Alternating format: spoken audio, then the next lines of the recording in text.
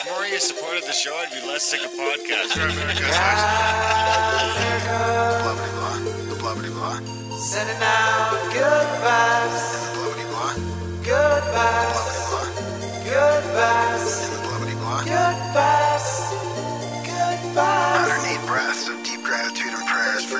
protection. And put on a didgeridoo and shamanic drumming track. Shivers or vibrations and stuff like that. 108 breaths of deep gratitude and prayers for guidance and protection. And put on a didgeridoo and shamanic drumming track. Shivers or vibrations and stuff like that.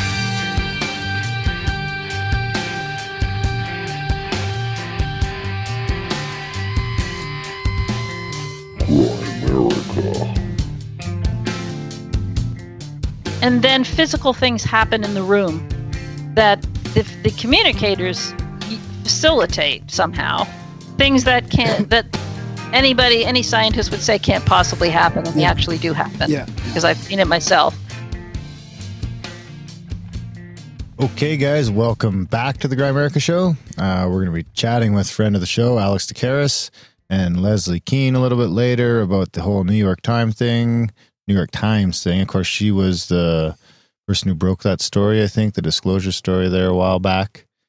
But first, we got uh, everybody's favorite podcaster, Graham. I've been podcasting for five years, Dunlop. Thanks, buddy. How's it going, man? Good. Does that that doesn't include my listening time, which goes back I said podcasting. seven when I was listening to Alex's Are you- show, seriously- Oh, okay. I see where you're going with that. Yeah, yeah, man. I- I'm doing well. Happy five year for you. This is a special episode for that. Yeah, usually we did something, but we just kind of didn't. we didn't do the call-in show No, no, this no, time. Now no, we'll do it like at 300 or something, yeah, maybe. maybe. Yeah. No, really appreciate Leslie. Uh, Leslie's real um, team player here on this episode. She's a real good sport. Alex pushed her pretty hard about some stuff, and um, that was it was interesting about the, you know, UFO disclosure and the intent uh, behind this drip drip, and who knows about it. Drip, and, drip, drop. Yeah. So That it was a fun show. Yeah, it was a great show. A little bit uh, long in the can. We are you know, it took us a while to release it, but we had to. We just had the trip that we got back from. Actually, we got to talk about that a little bit. Yeah, we'll get into Probably that a a good little bit later. transition into that. Do you want to do that now, or Sure. Should I play the jingle, what? Ding, what jingle? the synchronicity jingle? Sure, if you want to talk about that. Oh yeah, we'll do that as well. I'm a rambling Graham with synchronicities all over the web. And Aaron is skeptical about everyone and don't believe it yet. Do you want to get into it? And I'll rate it? Sure. Cut. Well, no, actually, Now you no. You're You you're got more it. familiar with it. No, I'm not. I Yeah, sent well, you the to you. screenshots. Oh my god! Now I have to look up the screenshots. I mean, I wasn't prepared for that. Uh-huh. Well, I don't have okay. anything. Anyways, we got uh, a notification on Facebook or something. So we were in Seaside, Oregon, kind of a little meetup. There was about 18 of us, a little bit, sometimes 20 of us. Um, and uh, we left the place fairly clean, I believe. But anyways, uh, one of the, uh, I don't know, what should be called the cleaner or like The house cleaner. The house cleaner. So it turns out the person that cleaned the house was a listener of the show. Yeah. And she's seen Nikki the dude's message on the board. Um, there's a, like a dry erase board there. It was a chalkboard. Oh, was it? Yeah. Okay, chalkboard. And he wrote the. What did he say? Grimerica Yo Love or something like Yeah. that. And then uh, we left a couple magnets on the fridge. Yeah, I left those magnets on the side of that little toaster oven. Yeah. So she said she went in the first time and seen the just the chalkboard and was like, Hey, I listened to that podcast. And then she didn't find the magnets till the second time. That's awesome. And Yeah. then she was excited. She was like, "Too bad I didn't know. Would have been great conversation." Which it was all weekend long. Yeah. There's a lot of magic and games and things like that going on too. A little bit of it one night. Oh my god! Was it only one night? Yeah, What'd you do the night I wasn't there? Where were you? I left a night early. Oh, that night. Oh, more games. Yeah. No, no, we, no. We we uh, we went to the beach. Sunset, sunset on the beach. There you go. Yeah. Sounds, sounds And I tried to go to bed. I went to bed early. I tried to go to bed by like midnight because I had to get up at five and drive Five. 20 Yeah. hours. yeah sixteen. Is Oh, but then you lose an hour. So the other, uh, so you're gonna rate that synchronicity then? I'll give it a nine.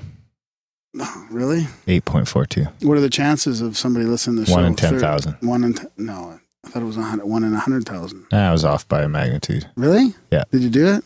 Yeah. You did the calculation? Ten thousand. One in ten thousand. Yeah. And if you take out babies and other people that don't clean houses and throw in our demographics, probably down to like one in six thousand something. Huh. It's a good job for listening to podcasts. That's for sure. It is pretty, yeah. And I mean, it's, it's still crazy the fact that the house cleaner that listens to the podcast. I mean, we don't have that many listeners. We really don't. Yeah. So speaking about great conversations in Seaside, so you didn't you weren't there for this, right? We were walking around doing little shopping and stuff. There was probably like eight or eight or nine of us or so, and there was a little sort of wine store with some organic candy and popcorn and stuff like that, like a like a wine tasting thing. It wasn't like a wine store, and um, they were calling us in. We were walking down the street, and uh, Gareth's wife and uh, and Shameless's wife were, were like, uh, come, come on, you guys got to come in here and listen to this. And we go in there, and the lady behind the counter is talking about her Sasquatch stories, right? And of course, I had magnets and stuff on me and all that, and we were talking. They were talking about the podcast, and a bunch of us guys go in there, and and these two ladies there were were quite amazing that we had all this discussions on Sasquatch, and so one of them had seen a huge footprint in the mud, like a Sasquatch footprint in the mud, and so we are talking about Sasquatch, and then the other one was talking about missing 411 and how there's a guy who disappeared on the highway the other night, walking from one town to the other, and uh, they're super familiar with all that content. And she had seen a USO, and I was like, a USO? What? Like, let me guess, off the island of Catalina. And She's like, "Yep, right across the the water from Catalina, like a star, basically go right into the water." Yeah, crazy stuff. Great conversations. I was handing them out stuff for the podcast, and they're just so excited, like that they could talk to all these guys about all this cool stuff. Sweet. Yeah. Sounds wonderful. Yeah, you weren't there. That was the wine shop story? Yeah. That was the, Well, what what what did you expect it to be? I don't know. You guys all played it up. I was expecting to be something great. Well, it was pretty amazing that you meet a couple people that are interested in all the same stuff we talk about on the show all the time. Hmm. And everybody was there, like talking about all that stuff all weekend. That is amazing. You're a dick. Sorry. I didn't mean to. I, Well, let's okay. you got a couple new listeners That'll anyway. tran- that'll transition into like the negative comments about our Portland chat. last oh, week. So no, we got some negative feedback about talking about We got a uh, lot of negative feedback. about the A lot more homeless than I expected. situation there and the and the Antifa. Antifa. Um, and we'll address it in an, an upcoming show. We got to do a little bit of research first because I think that uh, you know I want to, and we're gonna actually have the guy on who emailed us. We're gonna talk about it. He's been living in Portland for a while, and he's got some lots of cool projects going on. We're gonna talk to him, and but I do want to clarify. I don't want to just say we're we're wrong because I you know I don't know if we. I thought I thought we did say It was thought- hearsay. yeah. I thought you said that, but I don't know what exactly you said was hearsay. I don't know if that was about the Except the poop- shit I I don't know and if the it was the we poop seen. bridge was hearsay. I don't know. We'll get into it next week. Okay, well wait. It's a five year show. We don't want to get tied up in feces. Okay, Maybe some of us do. I don't know. no, I don't like that either. No, that's not your thing. No. All right. Well, I do have some uh, UFO sightings from listeners that I've kind of saved up for the special episode. You know, we don't have a jingle for that. It's kind of yeah, weird. you eh? do. We do have. a Ah, jingle. like, we- ugh, that one.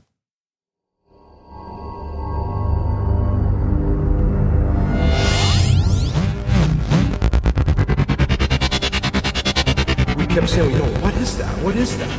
And it wasn't until after the events happened and it disappeared to the south in the darkness that we went inside. We stayed outside for a couple seconds, then we went inside. And she sat on the couch, and I went to the bar, and I sit on a stool, and I took my glasses off, and we stared at each other for 5, 10, 15 minutes, who knows? And I got up, and I wanted to go back outside, and as I grabbed the door, I looked my wife right in the eye, and I said, we just saw our first UFO. And she looked at me back, and she goes, I know. I know. Okay. All right. That's good. That's good. We can turn it on. All right. So this is from Joel. He says, "Hi, Darren and Graham. Just wanted to reach Joe out." or Joel? Joel. Reach out and say how much I've enjoyed and benefited from listening to the Grimerica show since I discovered it about six months ago. I feel like I have remotely connected to a small community of like minded friends. I also wanted to tell you about a profound sighting I had when I was younger. It was mid 1997. I was with a friend whose parents owned a hobby farm outside of a small town called Gundaroo in rural South Wales, New South Wales, Australia. It was about 7:30 to 8 p.m. We were just mooching around being bored and watching TV when my friend's mom asked us to come into the veranda onto the veranda and have a look at a strange brightly flashing triangular object in the night sky. The craft, which hovered on the horizon in the direction of the Brindabella Ranges, had flashing green, red, and white lights, with one of these on each corner of the triangle. Geez, this just sounds like the typical big triangle sighting with the lights on the corner. The object was stationary and visible for close to an hour and was completely silent. It then disappeared. A short while later, the craft reappeared, this time, however, and after being visible for only 15 minutes or so, the triangular craft turned a darkish blood red color before it appeared to head into space at what can only be described as an, at an unearthly speed. The following morning, as we were headed into town, we heard on the radio that ACT police were inundated with over 2,000 calls from people who also observed strange lights in the previous night sky. To describe what, what we saw as bizarre would be to put it mildly. Thank you guys, Joel. Thanks, Joel. Yep. That's a wild. good- that's interesting sighting. Like, you know, just like uh, that other sighting in Australia, big black triangle. Very interesting. Inflatable triangle. So I had the other. Uh, Bingo, bango, social media jingle. Don't forget to rate, comment. Do you have another UFO sighting? I, I did, yeah. I had, I had, I said, didn't I say I had uh, multiple? I don't know. Did you? Yeah, I did. I think. Bingo, bango, social Got to read Find this it one yet? too. Yeah, I got to read this one too. Yeah. It's been a while. It's been a while, Paul. Sorry it took me so long to read your sighting and your experience. See what people think about this. I had my first encounter with a UFO when I was 11 years old. I saw the oblong triangle craft hovering above a small grove of trees near my home at the time. I stared for a while and went home. Didn't say anything about it to anyone. I lost time during the event, a couple hours. Ever since then, I had a lump in my shoulder that would hurt every now and again. Didn't think much of it throughout my teen years, but when I was 24 and engaged, I asked my fiance what it was. I explained and and told her jokingly I would cut it out one day. The next day, the lump was gone, like it moved. I got sick for a three month span. Talking like can't get off the toilet for fear of either either end overflowing. Oof. After that, I had my second contact through meditation. During this time, I was told that I was marked as an enemy. The entity that spoke to me was an owl. I don't know how or why this would be. I'm a peaceful person. The next time you're out and trying to make contact, they will give you my answer. That's all I know. This sounds ridiculous, I know, but please, I beg you to help me on this give me peace or the ability to make amends. Thank you. Please let me know either on the show or via email. Thanks again. So we've been kind of going back and forth a little bit. Honestly, I, I don't um I don't have any answers. I mean, I don't know. I was hoping for maybe some listeners could bring some light to the subject. I mean, it's, you know, making contact through meditation and stuff is one thing, but missing time through a sighting like that is another. I wouldn't want to just recommend like uh, regression or anything like that. No. He also has a, I think he has a a podcast. Honestly, I haven't I haven't had a chance to listen to the podcast, but it is called Basket Case Pod. Um, I figured I'd throw that in there. Nice Haven't listened but yeah, I hope somebody. I mean, I don't know what kind of advice he's looking for, but or what kind of help, but I hope he's. uh Hopefully, someone can help him. Yeah. They're gonna help him through you. Email Graham, and he'll introduce you if he can help. That's true. Yeah, I will do that. Little matchmaker. Yeah, I did talk to him about the owls and how the owls are, um, you know, I'm. they uh, signify ETs a lot, right? Ooh. Ooh. I'm not going to play the jingle again, but I am going to get into some. I think it's. I feel like it's been a while since we did some social media rundown. Yeah, that's probably true. A few weeks anyway. We'll scroll down the old YouTubes. Oh boy. We got Love this. So sweet to have your mums on with you guys. Delina, I've always wanted to be friends with a celebrity. My dreams have finally come true. Your biggest fan right here.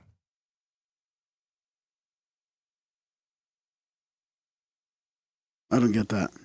Very, uh, I think that's one of my mom's friends. Oh, oh, okay. Very nice, boys. Really appreciate hearing from your mums. Seriously, this was a real treat, guys. That's Uh, obviously the show that we had our mums on. That was a yeah. When in Which the one- Mother's the Day, one that- remember? the special one where Darren forgot to record for the first 20 minutes. And then we Yeah, had we to, had to do it again. over and try and, you know, I was nervous. My mom was here. Yeah, here we go. Thank you so much for coming on the show again, Randall. I love you guys. Some of the top podcast hosts in the business. I'm proud to be a Grimerican. Sick artwork. What do we got else here? Nice of you guys to release this to the non contributors. Ultimately, it is good for everyone. That was a Randall Carlson show. You guys fucked up, though, for not having wished Randall a happy birthday. Expected from Darren, but Graham, disappointed. Write it down next year. I don't know when Randall's birthday is. Was it really? Great podcast, guys. Best I have heard anywhere in a long time. Liked and shared. Uh, we'll skip past some round ones here. Uh, da da. Times change. We can handle the truth. Great podcast, guy. What guys? What a pleasure to listen to Randall all fired up. This was the most inspirational I have ever heard him, and I love the fact that he is positive and has a plan. We need more men like Randall Carlson. Fantastic conversation. Keep up the good work. Uh, on the on the podcast with Chase, what I'm trying to figure out is why haven't I heard of this guy before? Thanks, fellas, for introducing me to another fine mind. nice. Da-da. Just subscribe to his channel this week. This is on the Jason Louv app. Good info. Oh, that hasn't come out yet. I shouldn't read that one. 288 The Fentons. Well, since nobody else is going to comment, bingo, bango, mofos. A good episode. Thanks. And you subscribers, support the show. Hey, I just, no, I don't want to read that one either. The Grimerica Show, Richard Parker. Ha ha ha. Effing hilarious. All right, that's probably good for Yeah, the social good. media. Fucking social media. Want to cut it now? Let's do the support. Sh- Let's do the support spiel first. What do you? Don't throw your arms up. Support the We're show. supposed to split it in half. Well, what does it have to be? Half exactly. Now everyone then- knows your then There's not going to be much to do after. Anyway, support the show, guys. Five years, um, 285, 287. I don't know where we're at. 288, maybe. Maybe even be 289. Um, 289 apps, all free. No ads, no no sponsors, no bullshit. A little bit of Graham's bullshit, but we get through it. Um, so do if you haven't supported the show yet, uh, it's been five years, probably time. Could be time. Uh, so go over to grimerica.ca slash support today and do sign up for a monthly or do a one-time donation if you can. There's weekly, there's yearly, um, there's the Patreon, of course, and uh, there's all the stuff in the show notes that you can do that helps out the show. That's not that doesn't cost you any money. Like if you haven't re- reviewed the show in five years, you could probably get on that.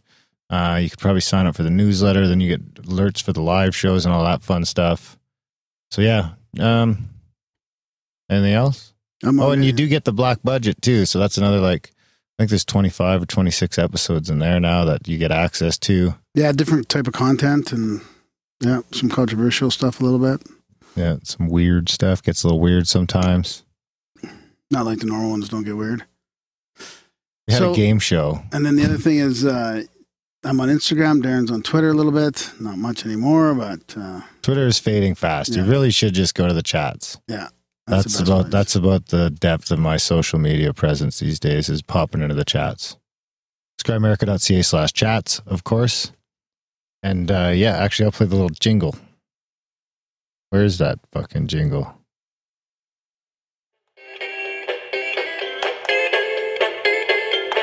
Stop on by, stop on by, stop on by, stop on by, stop on by, stop on by. Head on over to the Darren and Graham going deep. It's a profound UFO quote of the week. Words to ponder and critique. It's a profound UFO quote of the week. All right, I got a few special ones to choose from today because it's, uh, you know, it's important, I'll let you do two. important episode. Since it's five year, you can okay, do well, they're two. from the CIA.gov. Oh, no, UFO no, you're back down to ones.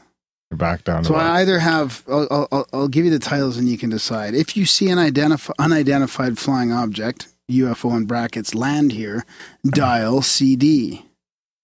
And that's a uh, sanitized approved from release, 1964. It's an article on the CIA government website.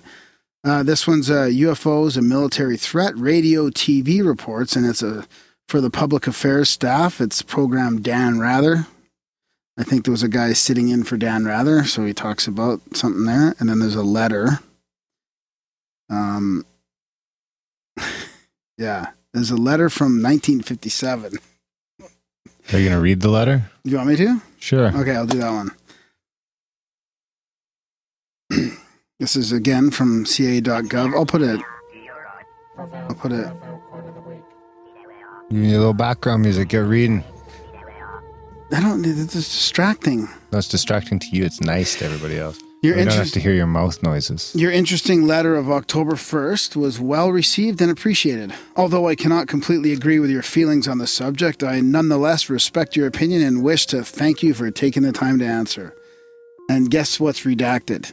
All the names, who it's to, who it's from, That's it. Yeah. That's no, no, hang letter? on, hang on. It was refreshing to receive a negative letter that evidenced clear and sound thinking.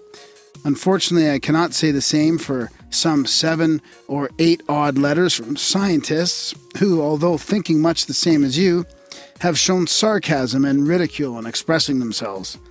This, I think, is not in line with good scientific thought. Whether or not I can use your opinions in the book remains for the publisher to decide. As I stated in my previous letter, the book's purpose is to present a legitimate case for the UFO.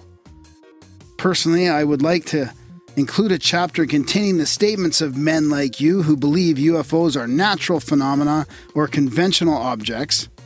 And in brackets, although it would be a shame to put your statements in with those of men less scientific in their approach. In order to be fair, but I have to I have reason to think the publisher might find such a, such a chapter detracting to the theme of the book. I hesitate to contact blank. For the above reason, for my notes, I find their opinions negative re the existence of UFOs. I should say it in my 1950s accent. See, you see, it would interest me to know with what You're USAF in 1950. project you're associated with. See? Again, my thanks, see, and best wishes. Why do you keep saying see? Yours very truly. See? Are you like a private detective? Are you a private detective or a gangster? One of the two. Yeah, see? There you go. See, going out on the old one and rob the place. See, there you have it. What else you got?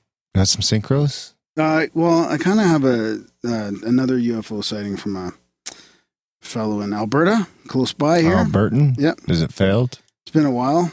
It's been a while. No, it's uh, from Joseph. I always have a hard time when the name doesn't match the name on the UFO signature. It's like people just keep changing that. So, hello, Graham and Darren. I would like to start by saying I love the show and will be contributing to your efforts in as many ways as possible. I've started listening to podcasts about a year ago, and I found your podcast while listening to Expanded Perspectives and really liked your format. Plus, you guys are Canadian like me. Even better, you guys are in the same province. Greetings from Edmonton. I will try to keep this email short as I have many experiences to share with you and your audience, and I can provide you with more than than what I have included in this meal if you're interested in this email is if you're interested.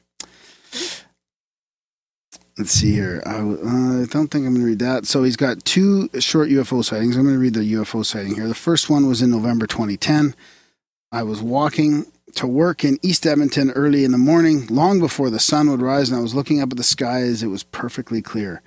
At one point, I noticed two strobe lights from an air, airplane flying very high directly above me from west to east, and for some reason, I was compelled to watch it as it flew away towards the horizon. As it neared the horizon, it approached a thin band of clouds, and I could barely see the strobe lights at, at that distance. Suddenly, I saw something to the right of it. In front of the clouds was an orange cigar shaped object that just appeared in an instant.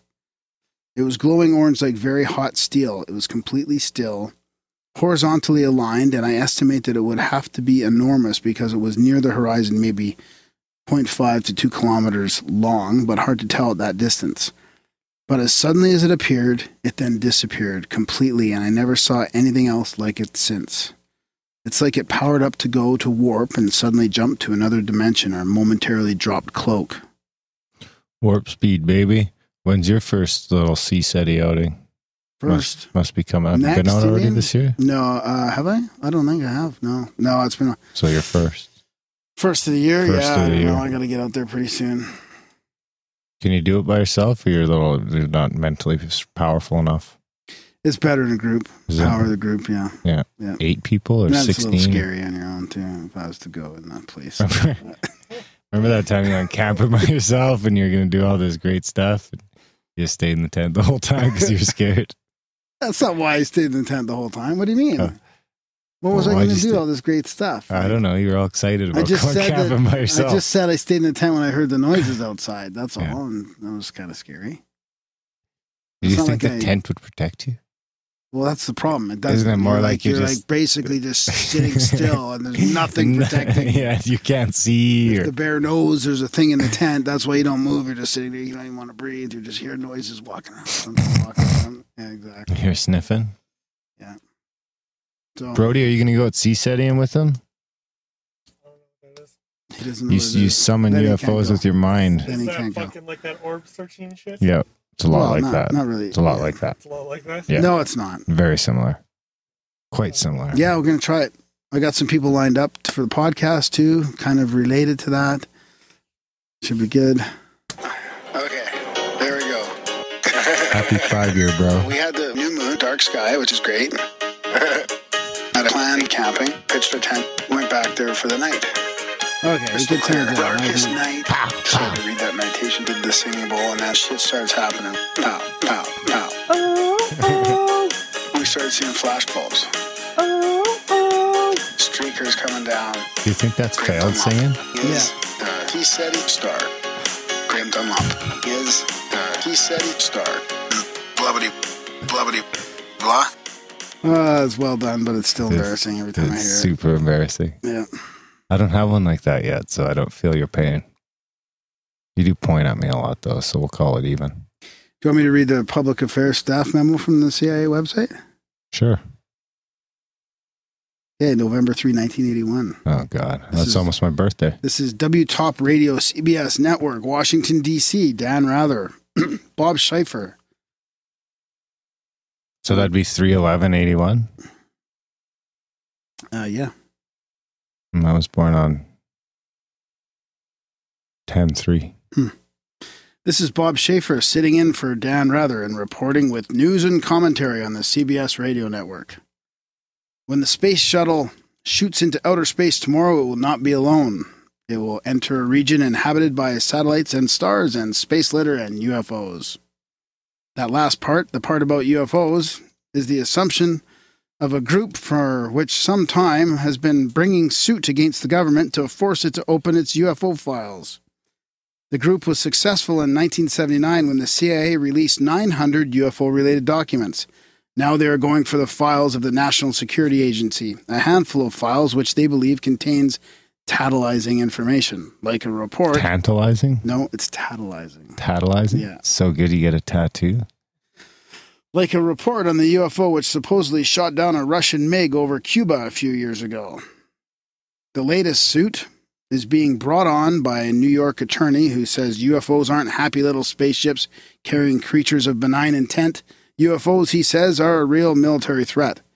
We'll have the UFO suit in a moment. And then Schieffer, Peter Gersten is a lawyer. Are you reading? Bronx. Sounds like you're reading like the screenplay for the fucking nightly news on CBS. That's what it feels like. Yeah, Yeah. totally. Probably feels a lot like that. He's a lawyer in the Bronx and the director of a small group of concerned. Oh, that concerned they didn't say, so I better just not put that in there. Called Citizens Against UFO Secrecy or CAUSE. In 1977, the group sued under the Freedom of Information Act to force the CIA to publish its UFO files. Two years later, the CIA released 900 pages of documents. But during its search of the files, the agency found some material that originated with the NSA. It turned these papers over to the NSA. Why would it do that? Gersten and Cause filed the suit to get them too. So there you go. To where? Also, Ah, as well. Yeah. Hmm. As well, they say in, in Alberta, they say as well, but not in BC. They say two? They say, yeah, they do. Huh. Yeah, well, fuck them. I came here and everybody's like, you as well. I'm like, oh, that's weird. It's polite. Usually it's you too. You too. You too sucks. and I still can't delete them off my fucking iPhone. Really? It's Oh. impossible to delete the fucking you- shitty why you- U2 album off my phone. That free Really? album that they made you Yeah, download? you can't get it off your phone. You can't delete it. I tried several times. That's funny because I have the opposite problem where I put stuff on my phone and, it, and I can't get it get it back. It deletes itself. Guys are Apple. No, I'm serious. Like, and then I've got a bunch of stuff on my computer that used to be on my phone, and somehow it's not there. Are you still dealing with that Oh. iTunes problem Pretty from like much. four years Pretty ago? much. It's always an issue. I go to listen to something not available at this moment. How is it not available? I didn't. My shit works I didn't turn it off except the I can't get rid of the U2 album. I think there's something There's a whole going bunch on. of meditations, And like I don't Monroe fucking trust Institute Bono meditations either. that are not there anymore. So who we chatting with this week? Les- Leslie and Alex. Yeah. This one's a little out of off. Yeah, we should probably just reel it back in a little bit. This is an important episode. Leslie's done a lot of great work. She uh, she's responsible for that, the New York Times, that disclosure article, working on that with those those guys, and her book, The UFOs, Generals, Pilots, and Government Officials on the Record, is an amazing book. And we also talk a little bit about um, the The what? Spit it out, man. surviving death. Oh right. Consciousness, surviving death. I forgot we got into that uh, life after death stuff Yeah. after that. Yeah, Yeah. a great app. You guys should enjoy it. Yeah. And uh, yeah, Happy five years, dude. happy five years, That's good. motherfucker. Support the show, guys, and uh, review the show. Do all the stuff you've been meaning to do for the last five years.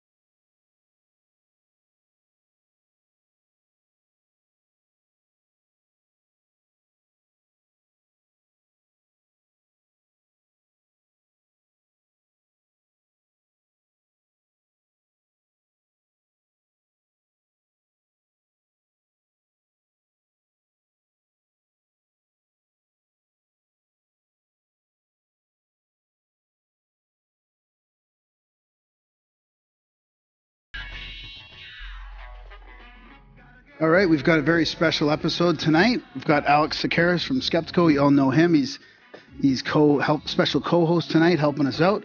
And we've got the one and only Leslie Kean on, and she wrote a, a groundbreaking book, I think, uh, back probably eight or ten years ago now. Uh, UFOs, general pilots, and government officials go on the record.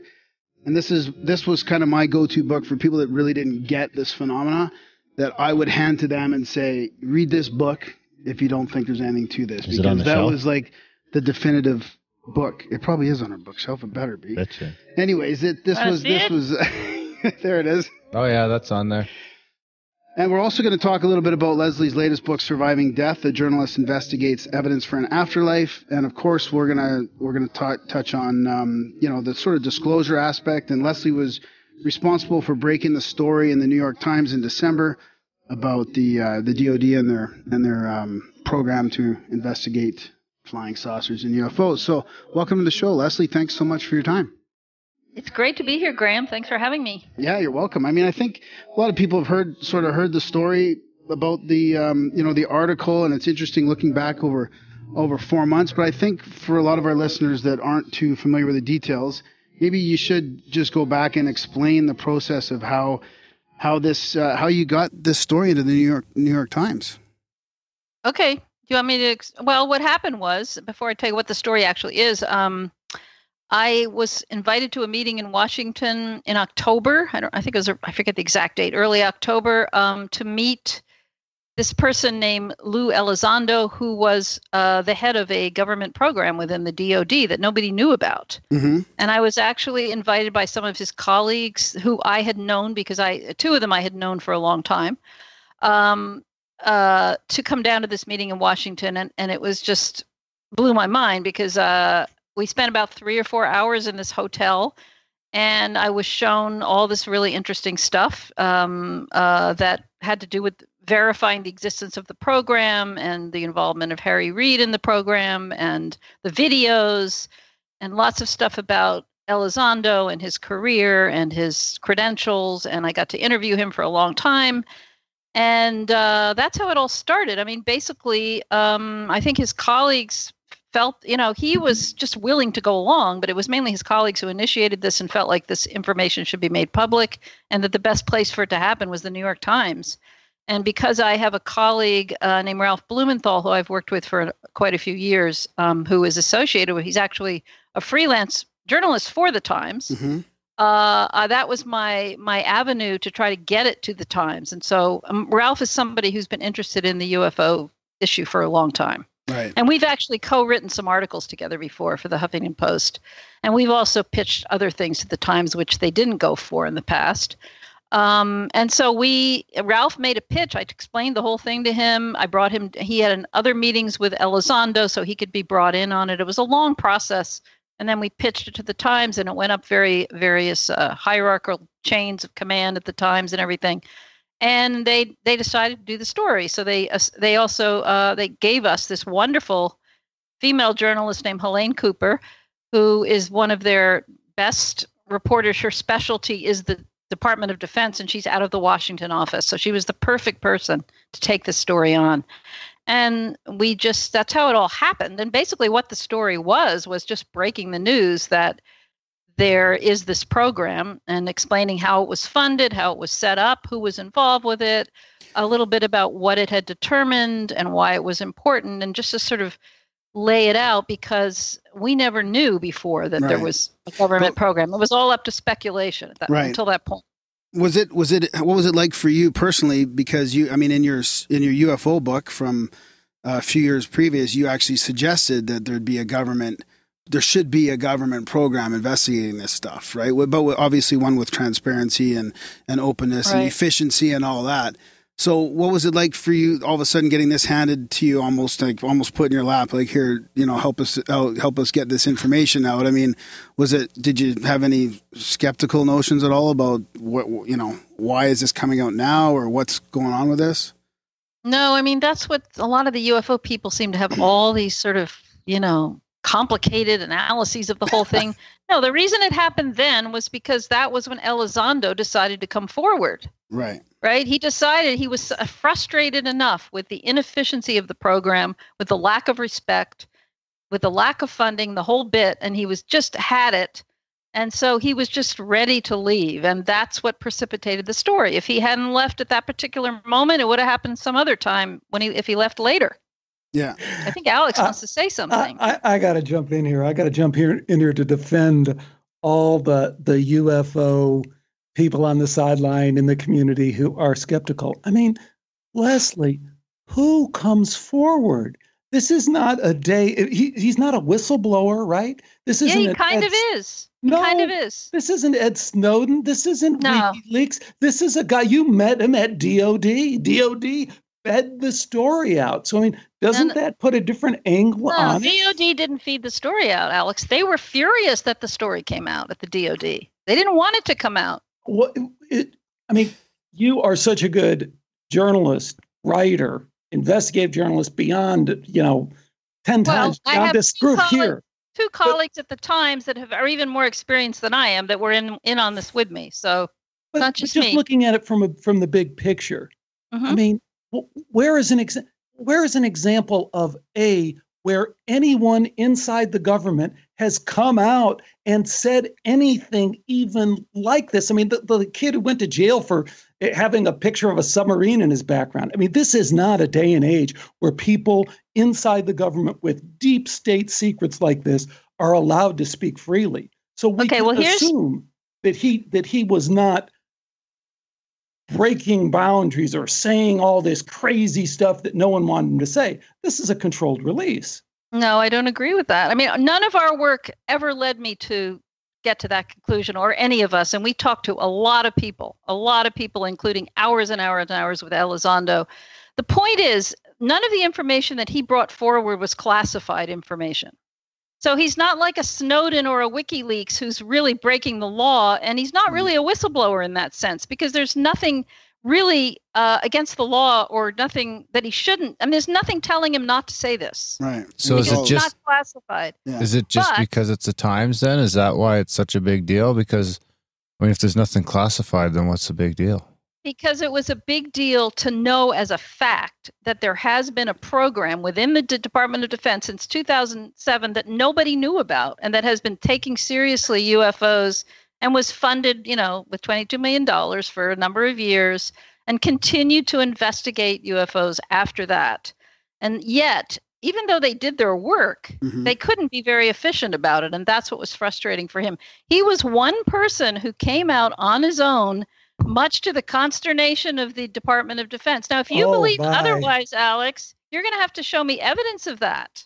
I th- I think the evidence of that is is it's self evident. You know, you so you go to the I New York Times. I don't agree. I have seen you- no evidence, and neither have my colleagues, that there was some kind of. I don't even know what you're exactly saying. That he was. let There was some kind of finish. Well, I, I, orchestrated plan. well, I think he, Let- I think in the least, I think in the least, he's saying that th- there needs to be some sort of approval for somebody to, to talk about this kind of stuff. I mean, even with the To the Stars, broke the the To the Stars Academy, like there's ex CIA and ex Skunkworks people in there that obviously have to have some. I would think they'd have to have some, some approval to talk about this stuff and to to, to bring this forward. I mean, right. once you're Yeah, in, that- let me let me jump in there because The I, I just approval interviewed. is, is about classified information. That's the distinction. right. Th- there, there is that that distinction is, is meaningless at this point. This is the biggest story probably in, in the in our in the history of our lives certainly a lot of people are saying in the history of the world and to suggest that this somehow and some phony baloney classified not classified top secret clear, uh, uh, classification this isn't classified and that's supposed to be the the the mark i i don't see it you know i just interviewed colonel john alexander who you know and i just mm-hmm. interviewed him recently right because john alexander we all know has always been the guy who stood up at these ufo conferences and said I was at the highest levels. Right. I talked to all the people. If There was no government know." program. Yeah. Right. So what do you think he said when I said, okay, well, now he goes, well, I guess I was wrong, but there still really isn't a program. This it's the same crap. So I, I think, you know, part of the reaction that came from this story was number one, it's it's kind of preposterous to suggest that this somehow isn't classified. I would I would then ask who is deciding what's classified not- and isn't classified. But the second Wait a minute, is just- Alex. Just before you go on, I'm not suggesting that this is classified or not. I'm telling you the facts that nothing that Elizondo has conveyed is classified. The name of the program is not classified. The information he has brought forward is not classified. The videos aren't classified. He's very, very careful about that. He will never reveal anything that's classified. So and I would for suggest that that's more evidence of a controlled release than anything else, because on from from our level, from the people on the outside looking in, why would this not be classified? Under what criteria would this somehow not deserve classification, given Well- all the other crazy stuff that is classified? well, I Alex, a am lot kind of of on the- the outside. Oh, you want me to looking in. respond to that? A lot of the a lot of the program data is classified.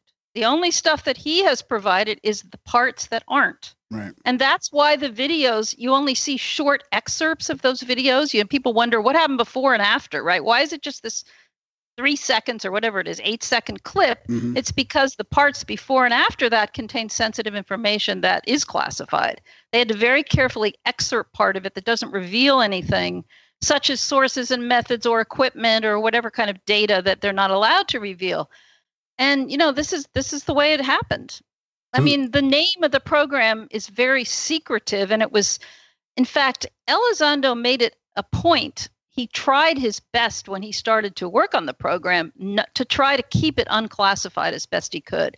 It was he had a way of burying it Mm. within the system without classifying it, and that was actually something he wanted to do. And at least the existence of the program, the name of the program, even though some of the case data is definitely classified. That's interesting. And I mean, so he went he went about that fact. from the beginning to maybe in hopes that one day he would be able to to to use you know to do that right to have Yeah, or he know. just didn't see any need to classify it. And I guess, you know, he preferred not to. I mean, I don't know exactly the reasons why, but fortunately that was the case so that he, when he came forward, there was a certain amount that he could talk about.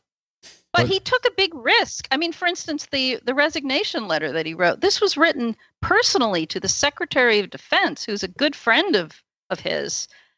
For him to provide for, we he didn't actually provide that but i was given that you know we were given that document. That was a really big deal to be have that document provided to us.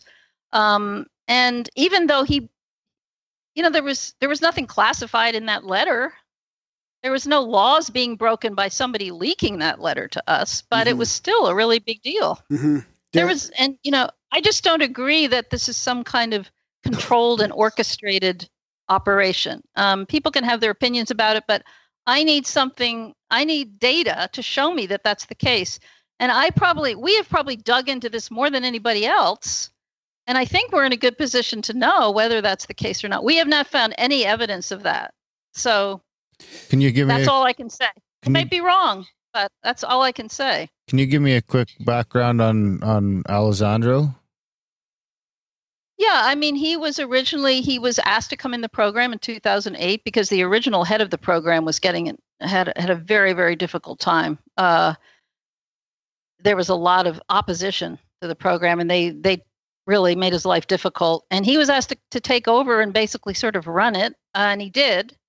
Um, and he had, I, you know, he has a very, very, I mean, he has his performance evaluations are incredibly high. He had outstanding reviews every year. And he was involved with a lot of very sensitive stuff uh, you know uh, very very high level special access programs. And he was a counterintelligence official and he was out in the field a lot. And he had a very a broad range of responsibilities. This program was just a small part of what he did. Mhm. And after the funding stopped in 2012 it became even smaller and basically the people who were dedicated to this just kept on doing it without any budget for it really. I mean they just kept on doing whatever they could but it wasn't the major thing that he was doing. He had a lot of other very uh, high level responsibilities. So the budget Um, was about th- he three was or very four. highly what's, he was very well respected within the dod as i said and his very very high ratings for all the work that he did So the budget was about three four million a year. You know what they were doing with that? million- the budget was tiny. It was twenty-two million dollars over two years, I believe it was. Twenty. Oh, that's a little uh, more. Yeah. Yeah, well, that and basically that went to the Bigelow Aerospace. You know, that was a contractor who hired out all these scientists and all these other people to do a lot of investigations, and but it only lasted a short time, and then they they kind of narrowed the scope of the operation to just taking military and intelligence cases that involved UFOs, whereas before that it was broader because Bigelow was into, had the ranch and he was interested in a lot of other stuff. Mhm. but uh, they they really narrowed it down more. And agent, you intelligence agencies and the Navy and other agencies would bring them cases within the the ATIP program, and then they would work. They would cooperate with the other agencies to investigate the cases, and that went on for you know until still going on today, actually. Mm. You know, Leslie, if I can jump in there one more time, I think Yeah. another reason why folks are very skeptical of this story, of the origins of this story, not the content. I think everyone's on board with this is real, but the way the story has come about. The other thing is the New York Times, of course. I mean, it's it's awesome, and I have no doubt in terms of the way that you're telling it with inside the New York Times and how it operated and their uh, careful and measured approach and moving it through the thing. But the New York Times, I mean, where was the New York Times with with the 12 part investigative series on your book?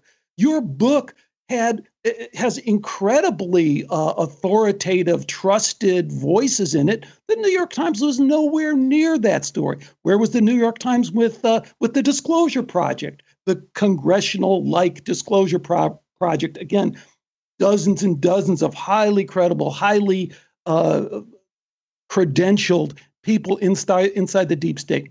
The New York Times was nowhere to be found. So I don't think it really rings true to say, well, they were never given they were never given a shot at it. It's like, no, go. I did this before the show. Before this show, you go Google New York Times UFO.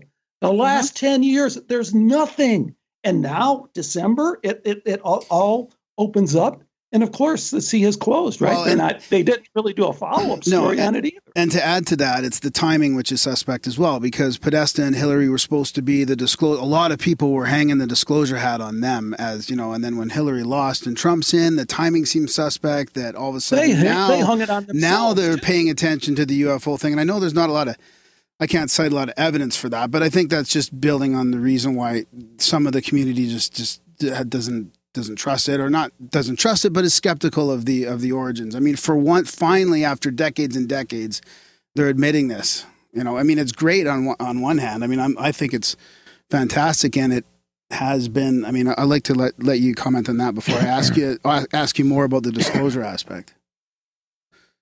comment now what specifically i mean i mean in terms of what alex was saying uh, i don't think there's ever been a story like this that has been brought to the new york times as something brand new exclusive just for them Yeah.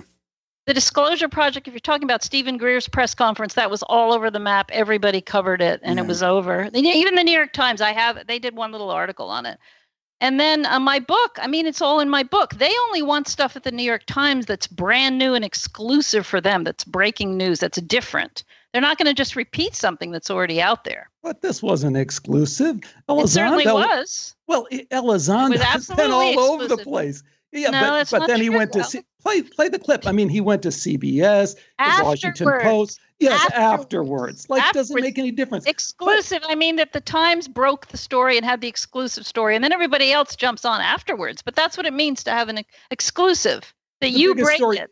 the- biggest story in, in, in history, right? It, it, it should have been if it's if it's real in that way, or if it caught the traction they wanted to. Where's the twelve part series? But then he just goes and makes the rounds. I mean, it's like a guy coming out with a new book. He goes on CBS. He finally Ab- makes it on the that's Fox. true. Play the thing from uh, Tucker Carlson. I thought probably did the the the best. I job agree of with you. kind of Tucker framing Carlson was great. Okay. I agree well, with you. So yes, I mean Elizondo graciously, much to his dis, he didn't like it. He didn't want to go on the media. He'd never done it before. He was very nervous. He took he was coached and he did it. He did this following the release of the article, but the important thing was the release of the New York Times article. And yes, the media went bananas afterwards. And yes, he was willing to be interviewed about it. I don't really I- understand the point you're making. Well, I, I I think you you do. You just have a different opinion, which is fair. But I'll make a different point that's related. You, Mhm. You've been in this field, so you certainly understand the other hesitancy people have, given the amount of misinformation, disinformation, criminal activity, coercion, uh, intimidation that's going on with the release of this information. I mean, a Paul Bennewitz kind of thing where they admit, yeah, we drove the guy crazy. I mean, they admit that stuff. But there's tons of other people have come and said, hey, I was threatened. My family was threatened, all the rest of this stuff.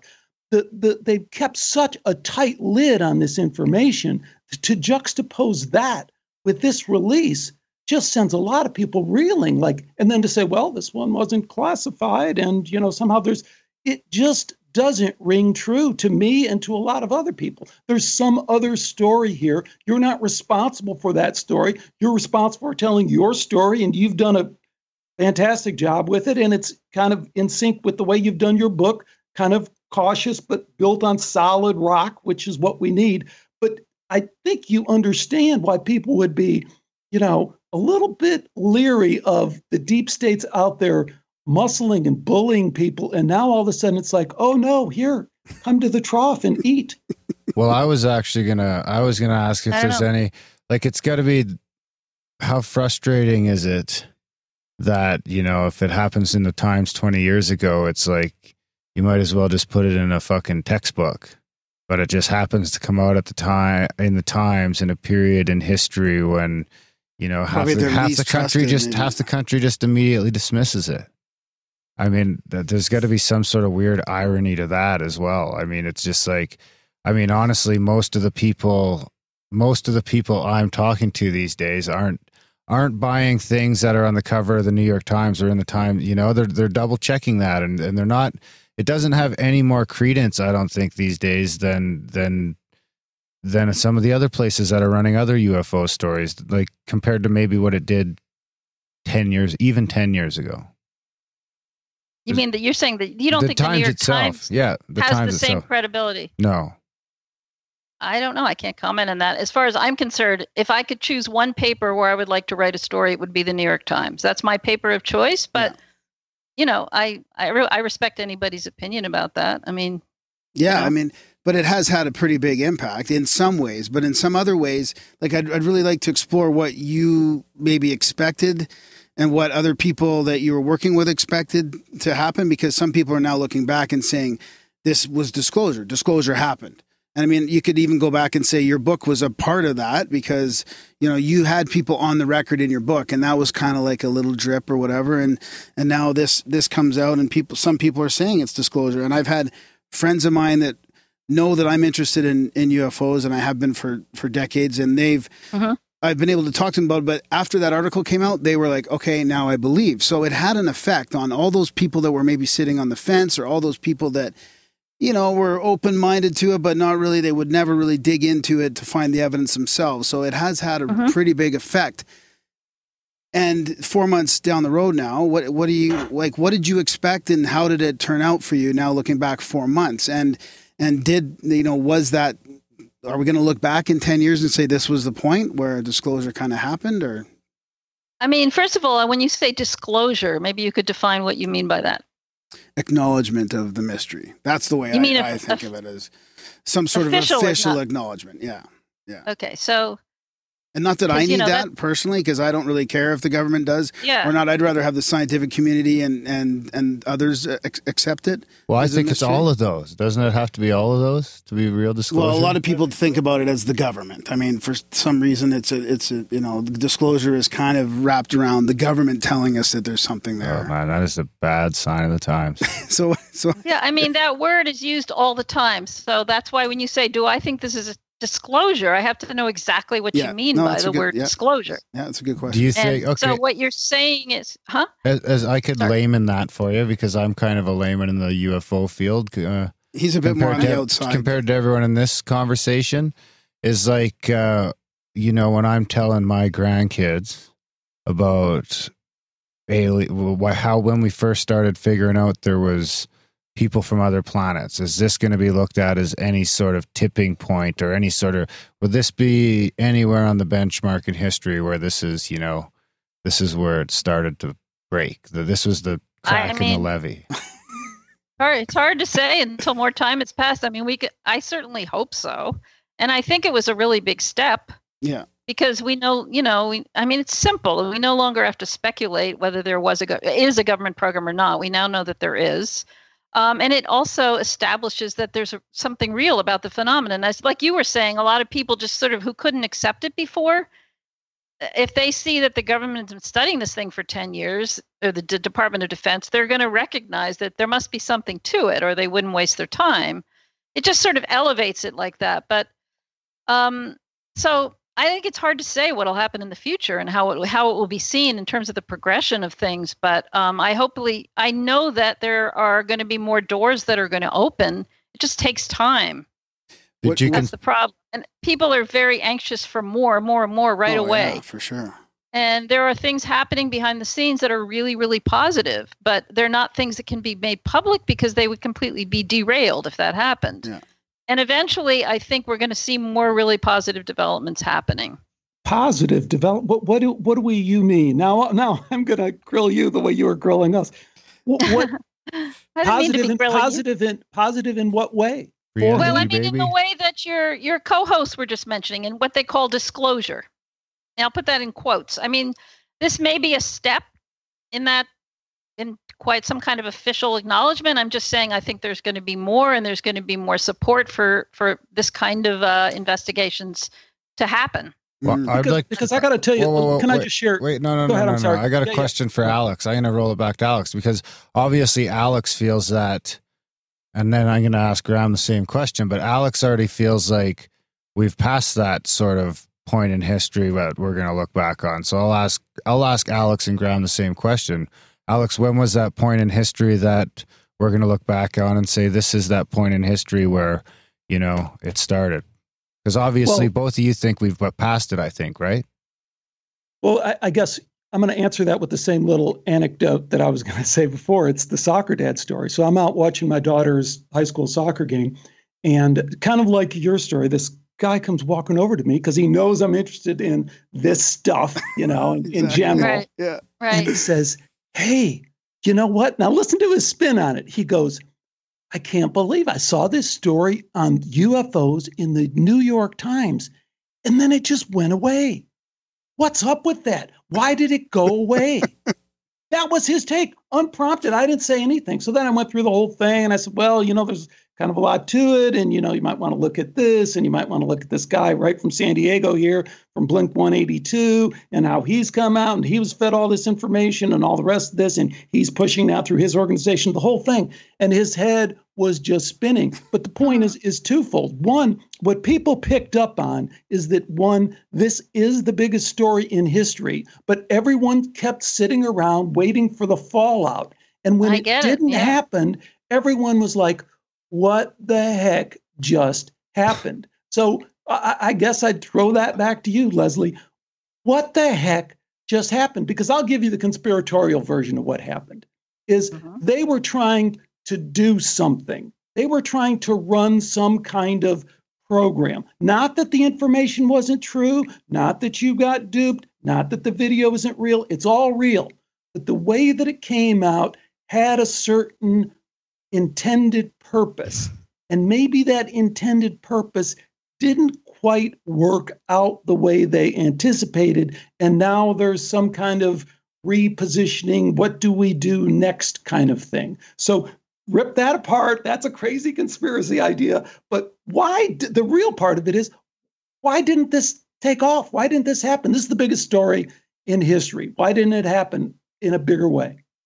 Well, or what you're saying is, why hasn't there been more stories that have followed? Right? I mean, it's, No, it's, from no. my position, There ha- that's my my only interest is to try to do more stories. Well, well, but but hold on. No, that's no, not. no. I, I think You he's know, let- talking about people like you know. Now that this comes out, do you think there'd be a lot Yeah. more digging into actual cases and going back, and there'd be more of an overarching story about UFOs. I mean, exactly. Well, that Two has to years do with ago- two other years ago we were all talking two years ago when we were all talking about disclosure and you listen to Grimerica and you listen to like their interview with Richard Dolan, right? And he wrote the book after disclosure and all that. And he's pretty well respected in the research uh, UFO research community. What the whole point of that book was, hey, as soon as there's disclosure, the questions will not stop.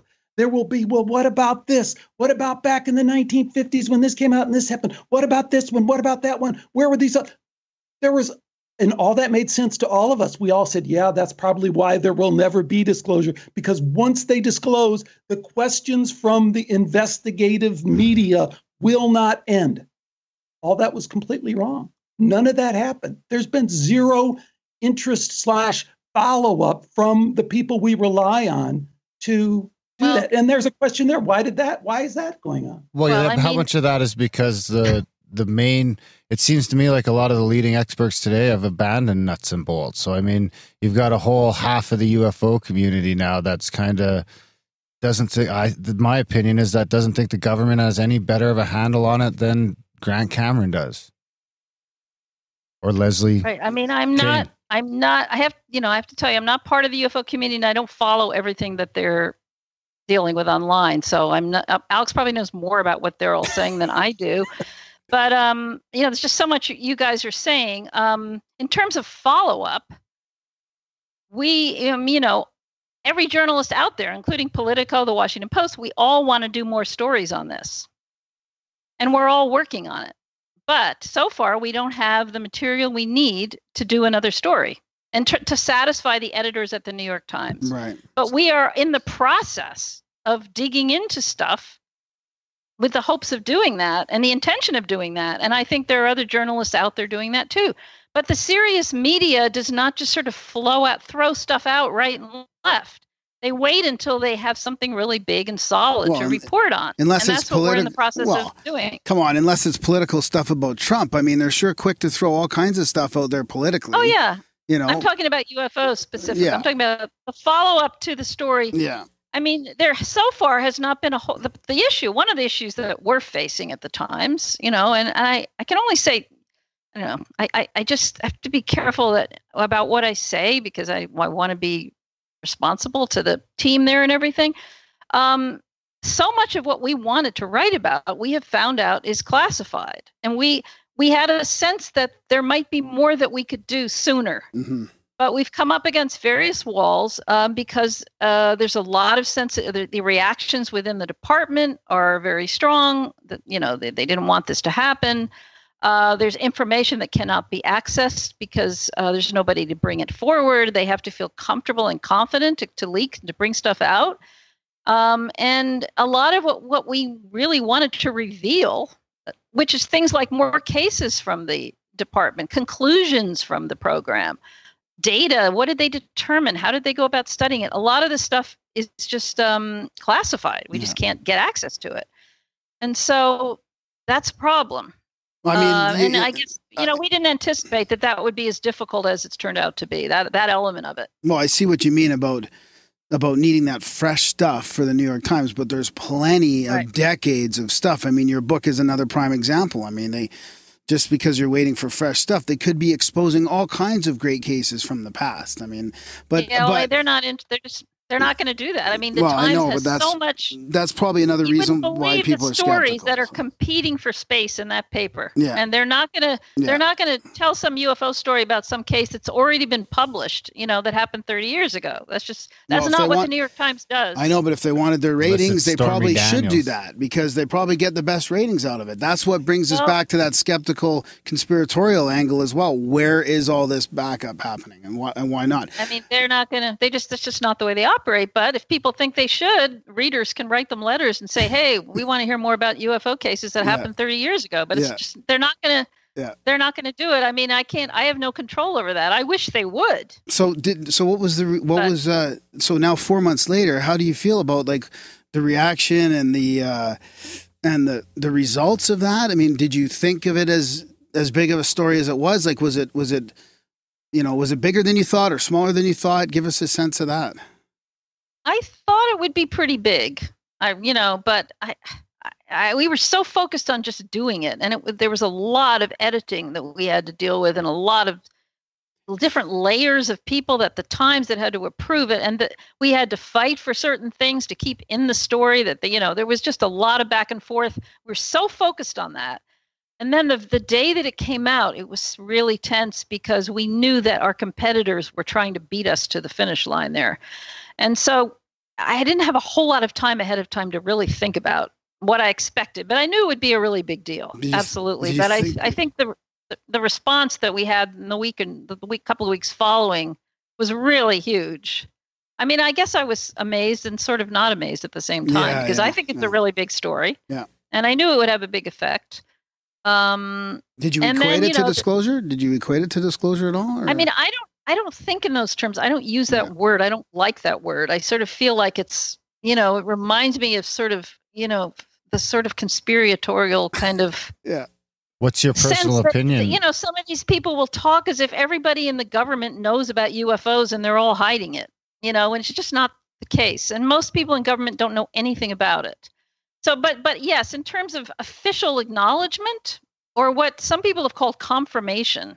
Yeah. I don't know. Some people say like that's what that's what Bigelow likes to say. Uh, He likes thinks of it as not so much disclosure because there's already enough information that's been released through the Freedom of Information Act to establish the re- reality of this phenomena, of this phenomenon, right? There's already, in a sense, disclosures already happen in a certain way. hmm So I think he, some people talk more about confirmation. I don't know, but Yeah.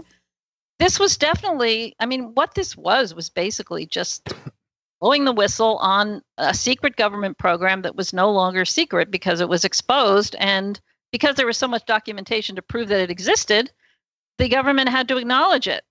I'll tell you what I've noticed a big difference on, and I'd like to know what Alex thinks about this as well. But there has been a shift from what I've seen on other other stories that have come out from other pilots seeing things. There's a couple, like one in Phoenix and one somewhere else, that that are actually it's actually being taken a little bit more serious. Like from in the past, you know, a couple of years, every time you see a story, a headline come out, it's sometimes it's already been it's a story that's already been debunked or it's just sort of a bullshit story or they're making fun of it or there's a little bit of ridicule there and it, it seems to me like this Right. has sort of kicked kicked things off and given maybe a little bit of authority to other papers and other journalists that actually it's okay to cover this seriously now Yeah, I think that makes a lot of sense, and I, I think it's probably the case. Yeah, I remember the, the the thing in Phoenix. I mean, you know, yeah, I think it's true. Yeah. I hope. Yeah, I mean, and so I mean, the, I do feel like it it can snowball a little bit from here, even outside of you know the New York Times and and and other you know Wall Street Journal, other reputable things. It, it, it gives other other people the ability to do that without playing the X Files music in the background. Yeah, exactly. I mean, I hope that's the case. I think that that element of it has gotten better. The Yeah. sort of X filey, you know. Let's. Do you guys do you guys want to play the the the, the Tucker Carlson clips? I thought those were were were kind of relevant to Yeah, You what we're talking about. Okay, So these this are guys who fly the for a living, who know what Sorry. other airplanes look like, including those maintained by foreign governments, and they're totally shocked by this. This is one among many incidents like it, including many that have happened in the middle of the day to sober people, lots of independent witnesses at the same event, in commercial pilots, military pilots, O'Hare Airport in the afternoon. None of them have obvious explanations. These are aircraft, apparently, that are moving in ways that appear to violate physics, that are flying very differently from any aircraft ever observed, and way faster than any plane that we know any foreign country has. What is this? Well, we don't know because for some reason the Defense Department is not interested in finding out. Ah, Good old, he was. He's fantastic. I mean, Does that really Fox, ring? putting Does that, Fox Yeah. some of that is is that's that's all factual, but some of it doesn't ring true. The, the last part that doesn't ring true because the DoD isn't interested interested in it. finding out. I mean, that's mean, a really? that's a double-edged sword. I mean, they're interested enough that there are staffers in their care program, but they're not interested. That's why Elizondo left to make the protest that they should be much more interested that they are. They should be supporting this program, and they should be taking an interest in this, and they're not. And they're making it very difficult for the program to function. And that was what he wrote in his resignation letter to the Secretary of Defense, which was a pretty brave thing for somebody to do to write that letter. It's never that to me is historic. You're talking about history. That letter is to me is history hmm. because he, it was written to the Depart- the Secretary of Defense. So and it was specifically it specifically said it's that, say, speaking the truth that there's Yeah. not enough Yeah. interest at the DoD to find out what these things are. wow. He's right. Is that And- and because? it- do you think there's any chance that that's because they've already come to some? Like, Yeah. is there any evidence that that's because they've come to some Other- conclusion that they can't? You know, they're not going to get it. They can't catch it. I don't have evidence of that. I mean, but my experience, my interviews are with people involved with that program Nothing And off the the record. You involved could like blink program- twice. Who have access to this. What's that? Nothing even off the record. Like maybe you could blink twice for yes or once. No, for I no. I mean, I all I know. I'm no, I'm speaking to you. I mean, you know, and I'm not saying I know everything. Yeah. I don't. But all I, what I do know is the people inside that program have not given me any indication that they already know the answers. Far from it. But they know a lot more than they're able to talk about. Yeah, because of the classification. Yeah. yeah. Because of the class, but it's not like they've solved the mystery of what where these things come from or any of the you know the bigger questions of are there creatures piloting them or where are they from or why are they here? Those questions absolutely not not solved by that program. If somebody else knows the answers to that that could be but they're not sharing that with the people i've talked to who have been working on this.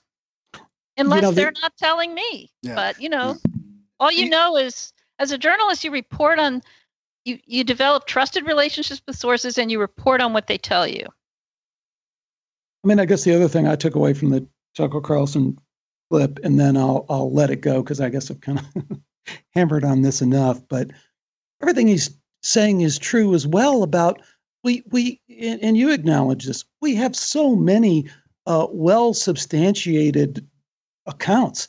And he referenced O'Hare Airport, which is phenomenal because hundreds of people saw it. There was video from all I over know. the place, bunch of different angles.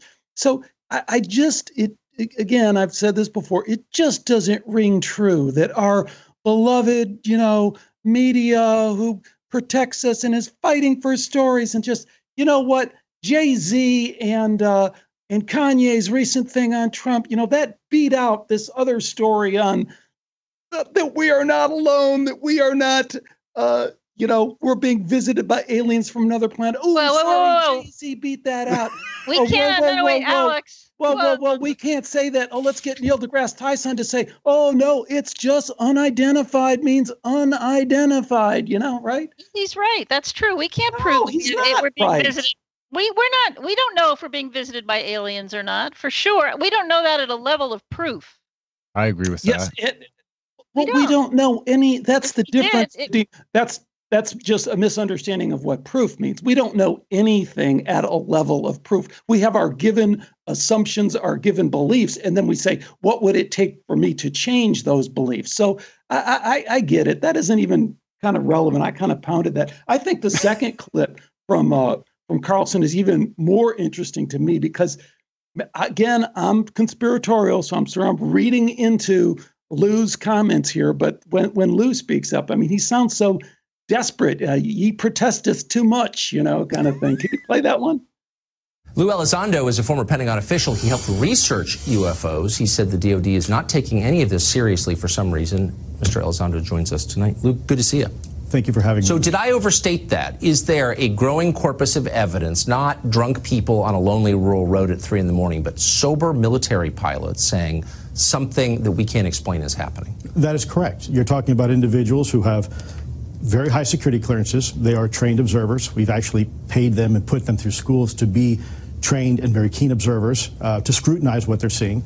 Uh, these are individuals who we trust to fly uh, weapons platforms, sometimes with live munitions, over U.S. cities and to fight and win wars on our behalf. And they're reporting to us that they're seeing something that they can't explain. And it's also being backed up by the video evidence and the radar data.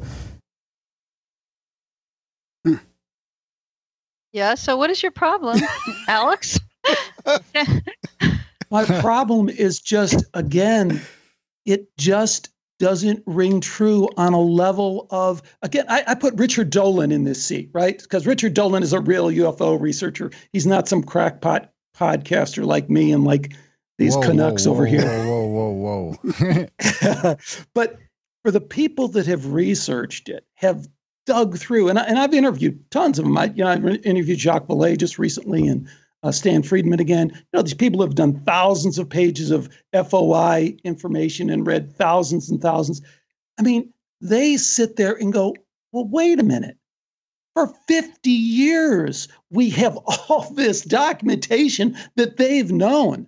So it Right. just doesn't ring true for Well, that- Lou that's to, true. For, Yeah. for Lou to come out and say, well, you know, gee, gosh darn, people, why aren't you paying attention? And it's like, hey, Lou, start from the beginning. Start from Project Blue Book, start from Swamp Gas, start from there and bring us all the way up to date on all the things that have happened since then, and then and lay it all on the table, and then maybe we'll eat from that table. But don't do this John Podesta, Hillary Clinton have said they're going to disclose and now they got backstabbed. So now they bring this out kind of that's how it looks kind of thing and expect everyone just to lean up against the table and go, wow, let's eat up the latest version of how the world really works. I think Alex, what you have to realize, number one, is he he had three minutes on Tucker Carlson. He was responding to the question he was asked. He doesn't have time to to go back to the beginning in that context. I'm sure there was another context, maybe he could. But the other thing is, I think, you know, we all know a lot about UFOs. So to us, it just seems obvious most people don't know anything about UFOs. And I think a lot of us forget that the frustration that you're expressing of like, yeah, for 50 years we've had all this data and these great people like Stan Friedman have studied it and they've already made these statements over and over again. Why don't we get it? I mean, most people haven't even been exposed to that stuff. And we are a small percentage of the population that have knowledge about this. So there's that. Plus, there's the stigma in the culture that's still very strong that people think UFOs are some kind of a joke. You wouldn't believe how many people don't want to be associated with it, even though they know a lot about it and they've had experiences or whatever. Because of that, people are afraid of career problems in the military if they talk about it. So that squelches it, along with the fact that most people don't know anything about it. So for a, a, somebody to come out of the DOD and go on Fox TV and say what Lou just said, for them is a really big deal. For us, it seems like nothing because mm-hmm. we already know. Well, Leslie, that's awesome. I, I, like the way you sum that up. You certainly have the credibility to say that because you've lived it with your book, which I was kind of surprised. I mean, your book is the disclosure book that everyone points to. I just have to tell you, you know that, uh, but whether you like the term or not, so you've you've live that life and walk that. So I, I totally respect what you're saying in that regard. Yeah. Thank you. Yeah, I think it's very easy to forget because we're it's so obvious to us.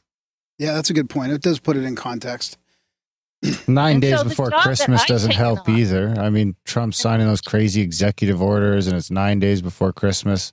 I mean, some of that in a lot of ways might have got steamrolled over as well knows? But I, I, all I know is that what I've taken on is my job, which is a different job from what Stanton Friedman and Richard Dolan and a lot of the other people do, is to try to take the most credible information into the mainstream, into the status quo, into the laps of the policymakers to make it that they can't so they can't avoid it and they have to deal with it. And the only way to do that is to provide the kinds of information that's in my book, that the kind of information that Lou has.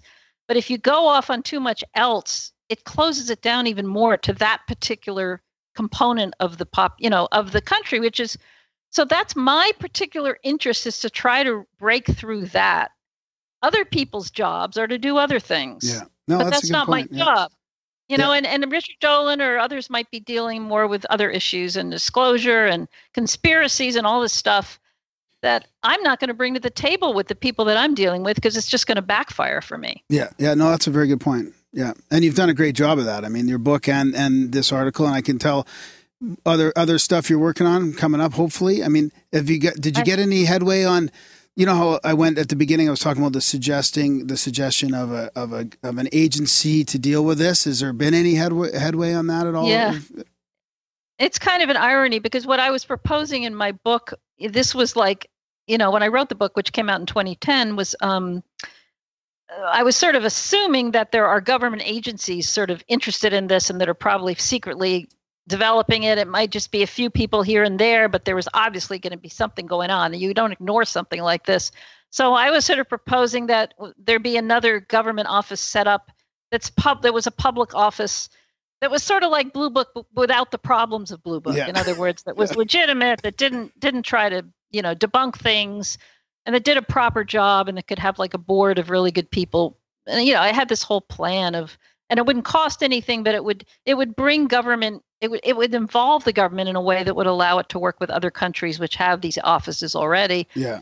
But now that we've discovered that there's this there's this dod agency i don't know i have to sort of um, think about i mean it still to me would be a positive development. I don't think it's ever going to happen at this point but it would be a positive development because this would be an office that would that would deal with the public whereas i think the dod stuff as you know all the classified stuff and all of that is just inaccessible but if we had another little agency where there was a point person where people could you know legitimate cases could be investigated and so on you know, it would be a positive. But you know, I think I've sort of put all of that on a back burner Yeah, at this yeah, point Yeah.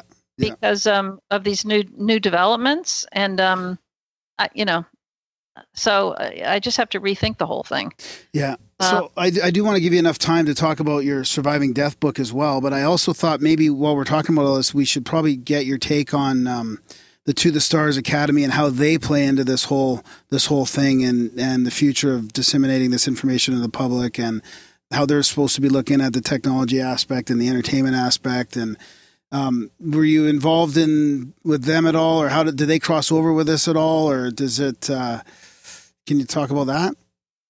Yeah, I mean, I really haven't been involved. I mean, of course, Elizondo is involved with them, Right. and he's a one of our sources. Okay. Um, and I've I've worked with uh, Hal Puthoff for many years. I mean, he's, he's advised me on many things over the years. I have great res- I have great respect for the people involved, Mhm. but I really uh, I'm not involved myself, and I don't really feel in a position to comment on on the organization. Um, you know, I wish them well, but I, I just I, I'm not sort of linked in in any way with with that entity with so so Elizondo was doing was he talking to you in, in this in this article in this sense it, on his own or as part of TTSA? on his own. Okay. On his own. Okay, I I wasn't it- sure. Yeah, we started. sure. I mean, the first meeting I had from him with him, he was completely independent. It was literally the day, I think, or the day or the day after that he had left the DoD where I met him. He had not gone on to do anything else yet. Mhm. So you know, he was working with us as a source and did interviews with us as an independent person for sure. Yeah. Yeah. So Alex, do you have anything else before we switch switch gears or or Darren? No, no, I, I- I, I really, really, really do appreciate Leslie, you know, kind of handling that, and and I hope.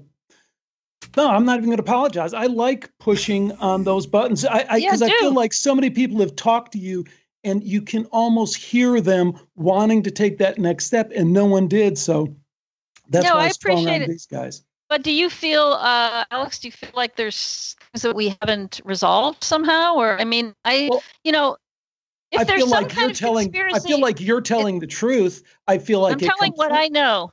All Yeah. I can do is, to, and if there may be some kind of giant conspiracy like people are speculating about, and I may be, you know, that may exist, and I don't know anything about it. All I can say is I've never seen evidence that shows me that that kind of thing is going on, and the people on the inside who I've spoken to have confirmed that. Well, I so mean, there doesn't have to be a giant conspiracy. There can just be the, the conspiracy that's laid right in front of our eyes that Graham Yeah, hit on. you know, and the To the Stars Academy and Tom DeLonge saying, you know, hey guys, we, we we really do have UFOs and we do there are aliens and we're going to get free energy out of it. Like that just sounds so like such It's a a, big claim. contrived, such a contrived kind of thing. But you know what? I, I- tell you, maybe a transitional question is you wrote a fantastic book on survival of consciousness. And I know you wanted to go more in that direction because the last time I interviewed on Skeptiko, I know that's a strong passion of yours. How has this kind of latest move, you know, they'll they pull me back in every time I try and get out, you know? Have you felt any of that at all? Or Yeah, I mean, what what happened was, I mean, the the whole UFO story in the Times was a, was a distraction from this. That's what you mean.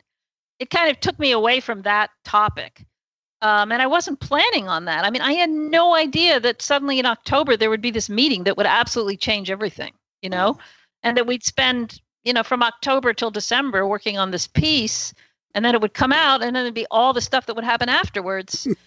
So it was all that was like three or four months of that I didn't ever anticipate any of that stuff happening. So I mean, I had a, I was going to go give lectures in Europe at one point. I lecture all lined up, and I canceled the whole trip because of this article. This this thing just took over my life. So now, I mean, as, as much as I as I said to you, we're trying to you know dig and trying to get another story going and trying to learn as more all the time. Um, I'm still happy to sort of be able to shift a little bit more back into the progression of the other book. I mean, I'm interested in both things, but Yeah, I- as, as are we. the oth- yeah. yeah, I mean, the surviving death book for me uh, is something that I have a lot more to learn about, um, and it's very fascinating me because of that. You know, it's not. I mean, I spent so many years studying UFOs, whereas this other stuff is newer for me. So, and it's in some ways more compelling and more mysterious. Uh, so I'm very drawn to it. Your Let's put it guys' way. roles are very But- reversed in that sense. You guys should be like trading stories. Because I would consider Alex probably one of the, you know, foremost forerunners in in that field these days. In in after well, my, death my stuff. show, maybe maybe my show is, but you, you well, know that what? counts. You mean? I mean, you bring that knowledge to the table. Then No, I mean, you- you, can you sit and have a great interviews. conversation. Well, you know what? No, There's I- an interesting I, I point agree there, with that. Leslie. And Leslie, we kind of talked about this the the last time, but maybe it's Mm-hmm. even more pertinent now. Is this link between consciousness and extended consciousness and UFOs is all over the place. And as Graham mentioned earlier, you know, when you talk to Jacques Vallée has kind of been the Pied Piper, and he's kind of converted everybody in the field. But that is the some people even can't bear the thought of someone even that, talking about a flying craft, the kind that this video exposes, and that's a whole other story we could get into in terms of the twists and turns this is taking in the in the UFO community. But from your perspective, since you've been in both, do you do you have any additional thoughts about the consciousness, extended consciousness connection to the UFO phenomenon? I- you know, I re- I just don't think I'm the person to talk to about it. I mean, I I think it's a really valid and interesting thing to explore, but I just have not focused on it because, you know, of the type of reporting I do. It wasn't exactly related to the New York Times story, right? Right. So it's not like I've really been applying myself in that way. When it comes to UFOs, I've always thought of them as just sort of this physical phenomenon that I'm trying to let the government know exists. Period. Right, You know, and I'm just focused on the least strange parts of it. yeah. You know what I mean? Which is just the radar and the blah blah blah. We're in the yes, but there are all these really really strange paranormal things associated with UFOs, and I just don't normally deal with those, and because of the particular job that I have. You know, it's not that they're not interesting to me or they're not, and they're also uh, an important part of the UFO phenomenon. I don't think any, but it's just not something that I've put my attention on because, as I sort of was saying earlier, I have a specific job to do. You know what I mean? And I can't do everything. Yeah, I but could that see being having. said, you know, I think maybe it'll be something that I'll be more interested in as time passes. And I know that there's other people that are thinking a lot about it, and I think it's fascinating. yeah, I What- could see I you really having did. to separate yourself like that for sure. What got you? In, in- I mean, I just, yeah, it's just what I've done. And then I did this book that involves consciousness, but I haven't really put that together with the UFO phenomenon. I sort of have always thought of them as completely separate. But maybe someday that'll that will. oh yeah, you'll you'll get there. You'll get there. That's where Yeah, I mean, you that's know. where it goes. Um, what what got you into the the consciousness stuff? Was that just like an assignment, or is Um, it a personal experience of some sort, or I've been interested in it really for a long, long. I mean, the question being, do we survive death? You know, is death the end? And um, and is there evidence that suggests? I mean, solid evidence. You know, not just anecdotal stories, but real evidence that suggests that we do survive death. And I've I've I've been involved with that question for quite a long time, even while I was doing UFOs. And there were periods of time where I was involved with documentaries that were made about it, and I did reading on it, and I traveled and met mediums and stuff like that, and always sort of had it in the background. Um, and so it was sort of the natural topic for me to take up next because my uh, Crown Publishing at, at, at Random House, who did the UFO book, were interested in having me do another book, and this just seemed like the natural topic for me. So I was very pleased to be able to do it because, but it's not like I had studied it as thoroughly as I had studied UFOs, and it was different because I drew from a lot of different areas. You know, each section of my book could be a whole book unto itself, whereas the UFO f- seemed simple. UFO topic seems simple to me compared to this. It was much Leslie, can, can you break that down a little bit for, for people? Because you really do do that. I mean, people who are familiar with your UFO book will find the same kind of careful, measured, kind of very grounded approach in the survival death, surviving death book. But you do kind of touch on areas that there's so much to touch on, but you get into, you know, like you said, mediumship, and you get into past lives, and you get into, right. and you, and you really do a fantastic job with them. But what are some of the areas you. you touch on? And I think that's also, I think the material is much weirder than UFOs. I felt like I was taking more of a risk because I will, I'll describe the areas, but a part of the book was also my own personal experiences, which are completely just what happened to me. It's like, you know, and that that felt anyway, that makes the book a lot more meaningful, but it's it's also going way out on a limb, much more on a limb that I'd gone with before with the UFO book. I felt, but yeah, I mean, I studied. Um, you know, it's a book starts with cases of young children who have past life recollections that with you know much very very specific information that can later be verified as being tied to the life of one specific person and those cases to me are among the most compelling evidence we have they're very hard to explain any other way than looking at them as a, a reincarnation case and then there's the whole near death experience um, you know or what what Sam Parnia calls actual death experiences, Ah, which I really what I like. like to. That's what I like to say Uh, too. Is it's not near because a lot of times you're there. And it's too vague. I mean, he says there's no there's nothing there really no way to define what that means. As far as Parnia is concerned, people are actually dead when they hit. And and I talk in the book about, you know, his, his cases of people that have been dead for like an hour and a half or something. And then they they come back and they remember. So um uh, and I think Alex is really an expert on NDEs, way more than I am. But I, I didn't go into it a lot in the book because I figured it's something a lot of people know a lot about already. And so I, and again, I had so many things to cover that I couldn't go into in a lot of depth. But I think that what I presented was interesting. And then I also had and have 10 chapters written by other people, which is another similarity to the UFO book. And I think Pim van Lommel wrote this fantastic chapter in my book about consciousness and NDEs. And I love what he writes. Um, and then there's life between life stuff and, and also end of life experiences that happen when people are consciously dying that are very similar to, to NDEs in certain ways. And then I get into this whole section about um, with mediums. Which, Yeah, yeah. Tell people about just that. ask Oh my that, God, if you it's had so any afterlife fascinating. communication. Yeah. Yeah, because you know the initial section of the book just sort of establishes the fact that consciousness appears to be able to function separately from the brain. That doesn't prove that it goes what happens when we die, but if you can establish that, then the question comes up: Well, if that's true, and even with these reincarnation cases, if it's like a personality that's going from one life to another, is it possible to communicate with that consciousness when it's not, you know, when it's not in that body? To me, that's a that was the natural question that I see my book as sort of a progression of questions. And that question of communication is so fascinating to me. And so the way that, you know, that one tends to explore that is through mediumship. Um, and I started off with mental mediumship and, um, you know, explained how it works and everything, which I'm sure people probably already know about. But what was fascinating to me was that I had two extraordinary readings myself with two different mediums. And they were, you know, the mediums knew nothing about me, not even my name. And I describe so I go into the book and I describe that and, and I list some of the very specific points that were made and uh, how it affected me. It was absolutely mind blowing. Um, so you know, there's what's interesting about this material too is that you can go out and experience it for yourself and test it, whereas with UFOs you can't decide to see one. Mm, this you can jump in and you can test the waters and you can have readings and you can you know do the various things that might connect you to a bigger consciousness or you can meditate and do all the things that allow you to explore this for yourself. And so i did that as part of my research in, in doing the book.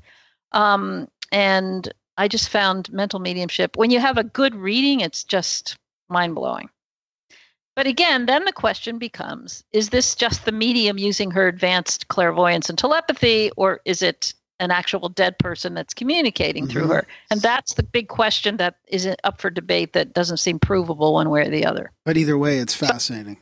it's fascinating and even either way uh, the scientific establishment will tell you that this can't happen and in fact it does Yeah. Regardless of the source of the information they will tell you that such a, a, a reading is a, it's an impossibility you know? And so that too is part of my motivation for writing the book. I know alex deals with that all the time. It's like the, the unbelievable that these guys will look you in the face and say these things don't happen that you have directly experienced happening. You know? Yeah, yeah. people like sean carroll.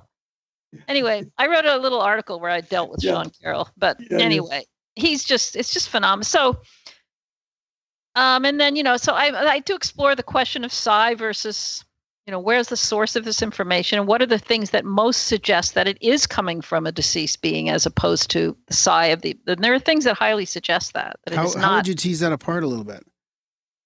well, one thing I did was I presented a case. First of all, I interviewed the mediums, the two that in length that that read for me.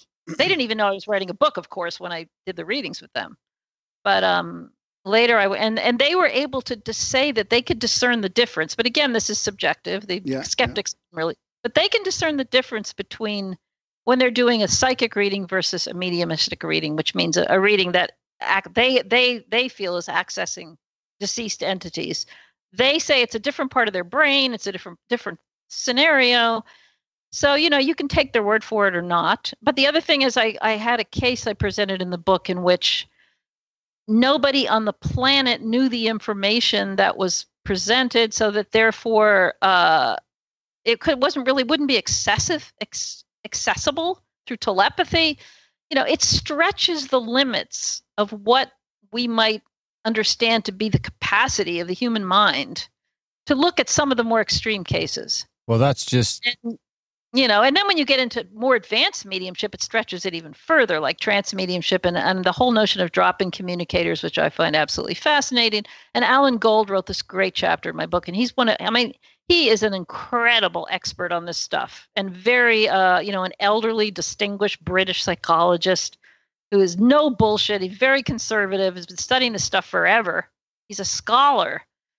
And he's he's presenting some of the information that is the most uh, you know stretch is the most evidential that there is survival and even for him to acknowledge that is a big deal so drop-in communicators are one thing and you know i don't i don't know if we have time to go into all of could, that Could we? Because I don't know if Yeah. I. Yeah, I don't know. i don't know if it's something li- i'm if i'm talking too much here or No, you no, know. no. I'd like to know about that. But Darren, you, what did you want to no. say? You finished that thought up. My question's going to be more of a uh, overarching. Okay. What's a drop-in Yeah, I mean- communicator?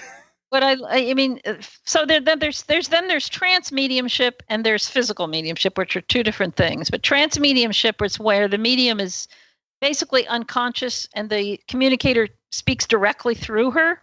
I'm going to say her because most of the mediums have been female. Yeah.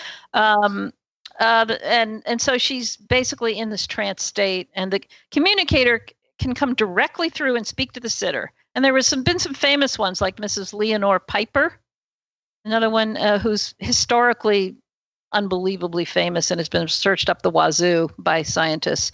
And so, anyway, what a drop in community. So the, it can happen with a trance mediumship, but I think it more often happens with physical mediumship. Actually, physical mediumship are when the medium is in, in a trance, leaves his body, and the communicator comes into the body, and then physical things happen in the room that the the communicators facilitate somehow things that can't that anybody any scientist would say can't possibly happen and they actually do happen. Yeah, yeah. because i've seen it myself. Of course you have to have a very controlled environment and make sure there's no you know people hoaxing anything that's the tricky part but if you can do that these things actually do happen and they've been documented throughout history. Um, such as levitations and things moving around and materializations and that kind of stuff voices in the room. Um, and so what a drop-in communicator is is when um, uh, let's just an example being in a physical physical mediumship where some communicator comes through the um, the uh, medium that nobody in the room knows or has any connection to because usually the sitters the communicators are connected to the sitters or there's one communicator or a bunch of them let's say two or three that work regularly with that medium so they always come every week Mhm. and they're sort of like that medium's group that they work with and so when you have somebody else come in out of the blue that is not being called in by any of the sitters is not connected to them and they seem to have a purpose for being there and they give enough information that um, about their lives say you know when they lived and blah blah blah that you can go and find out that this person actually lived. This is what happened with one case with this uh, icelandic medium. Um, he, he this this it was way way early in the century and everybody wrote down what he said but nobody checked it out. And then years later erlendur haraldsson who's an excellent investigator from iceland went to the to denmark. There's a lot of details that that show the disconnect of this communicator to the medium but was able to verify that this person actually lived Mhm. with the same name the same age you know all these details that that person had provided but you can't really argue that the sitters or the medium somehow created that themselves because he was com- this communicator was completely disconnected from them. Nobody knew anything about him, and we know that he actually lived. And what was his message again to them? Um, this guy, his name was um, Jensen. He didn't have much. Of, well, the reason he dropped in one Yeah. night said there's a fi- he. This was in Iceland, and he spoke in Danish, which is a language that the medium didn't even speak. He said there's a fire in Copenhagen right now, raging out of control, and this was at a certain time, so they wrote down the time and everything. And then he said a few things about the fire. I list the facts in my book. There may be four or five points he made about the fire, what time it started, when they came to put it out, where it was raging, a few things like that. And then he went away and then he came back later and said the fire has gone out. And so he didn't really have anything more to say beyond he was just very agitated about this fire. And um, the point being, though, Erlendur was able to find out years and years later that this guy who was this this Jensen guy actually lived two doors down from where the fire took place, which explained why he was so upset about it, and it gave a purpose for why he would feel a need to sort of, I mean, be around and be agitated about this thing. Which is one of the criteria that researchers have for drop ins, that there should be a reason for why they would be compelled to come in. And this sort of explained that, but nobody knew it at the time. It was just all written down. So that I just find that really compelling, and that that everything that that guy Jensen said about himself was able to be low. He was able to verify it all through a lot of different sources too, in obscure, you know, business logs in uh, in Copenhagen that documented, like in 1920, there was a, a merchant that did this, you know, and this person was buried over here, and it was all these dis, um, disparate, different sources. So if a skeptic wanted to argue, well, the medium used his psychic abilities to get that information, that medium would have had to have clairvoyantly gone to all these very, very obscure places to get the information in the first place in a language that he didn't even understand and to be accurate. And so it makes more sense to argue that the, the spirit of this being was actually there, you know, and, and that they were able to verify it later. I mean, if you have a drop in that you can't verify, it doesn't really mean anything. Yeah, yeah, and, And I so think the- there's the, there- ri- there's- I think there's the risk too that that the drop-ins. Uh, I mean, you have to don't they have to protect themselves? I mean, did you through all this research did you find these mediums having to protect themselves from unwanted visitors or making sure that it's not you know there's not a drop in there that's not supposed to be there? It's probably a concern. Yeah. I mean, that's a really good point. I'm sure. And I'm sure there are many of them that don't even give enough information to be meaningful anyway. You know, they just show up, or maybe they are negative entities. But I think most of the mediums have ways of protecting themselves from. I mean, I know the medium that I work with in um, England, the one I've sat with many times, is they do this little sort of prayer in the beginning of the sitting in which they just say, We put a ring of protection around our medium. You know, we ask the spirit world to protect him from unwanted. And there's never been any problems that he's had with any kind of negativity coming in. So I don't know, but I you know, I think the main thing is that there'll be drop ins that only come once and they don't say, they don't give you enough information and you just sort of forget about it. Yeah. You know, I recently heard a, a little bit of information that backs up what Leslie's saying. I, I interviewed uh, Dr. Bernardo Kastrup recently, and he told me about uh, some study that was recently done in Brazil with trance mediums, where right exactly what you're saying, Leslie. They they kind of tested them. They did the fMRI test. If anyone's familiar with this with this notion that what they're finding are these extended consciousness realms are often associated with a reduction in neural activity in areas that we would expect just the opposite. So people are having these unbelievably, as they report them, fantastic experiences. We'd expect their brain to be lighting up under the current neurological model. And what we see is the opposite, that the brain is shutting down. So, and the interpretation is that somehow consciousness is connecting in a way that deeper, truer consciousness is connecting in a way that we don't totally understand. But what they found in this Brazil study is the trance mediums had that same reduction in neural activity in a specific part of their brain associated with trance mediumship. And it was different when they were doing psychic mediumship. So it was Yeah. confirming on both counts one, oh. that there was this reduction in activity, and two, that it was truly as they experienced it and reported it, two different kinds of experience. I just thought that was, I you know, think again, it's it's great too. It's Yeah. Occam's razor cutting the other way. I mean, the skeptics always want to say, and the materialists, we shouldn't say skeptics. I hate that because this is Yeah, science. materialist. This is just mainstream science. This is what neuroscience says and all that. But they always want to cut, isn't the simpler explanation this? And as you just pointed out, and I think you did a great job, it isn't really the simpler explanation, not Right. super psi, that it's spirits. However, I know. I mean, and they're both pretty pretty out there, but right. the point is the phenomena are real. So you so you know you can interpret it either way, but yeah, I think it makes complete sense.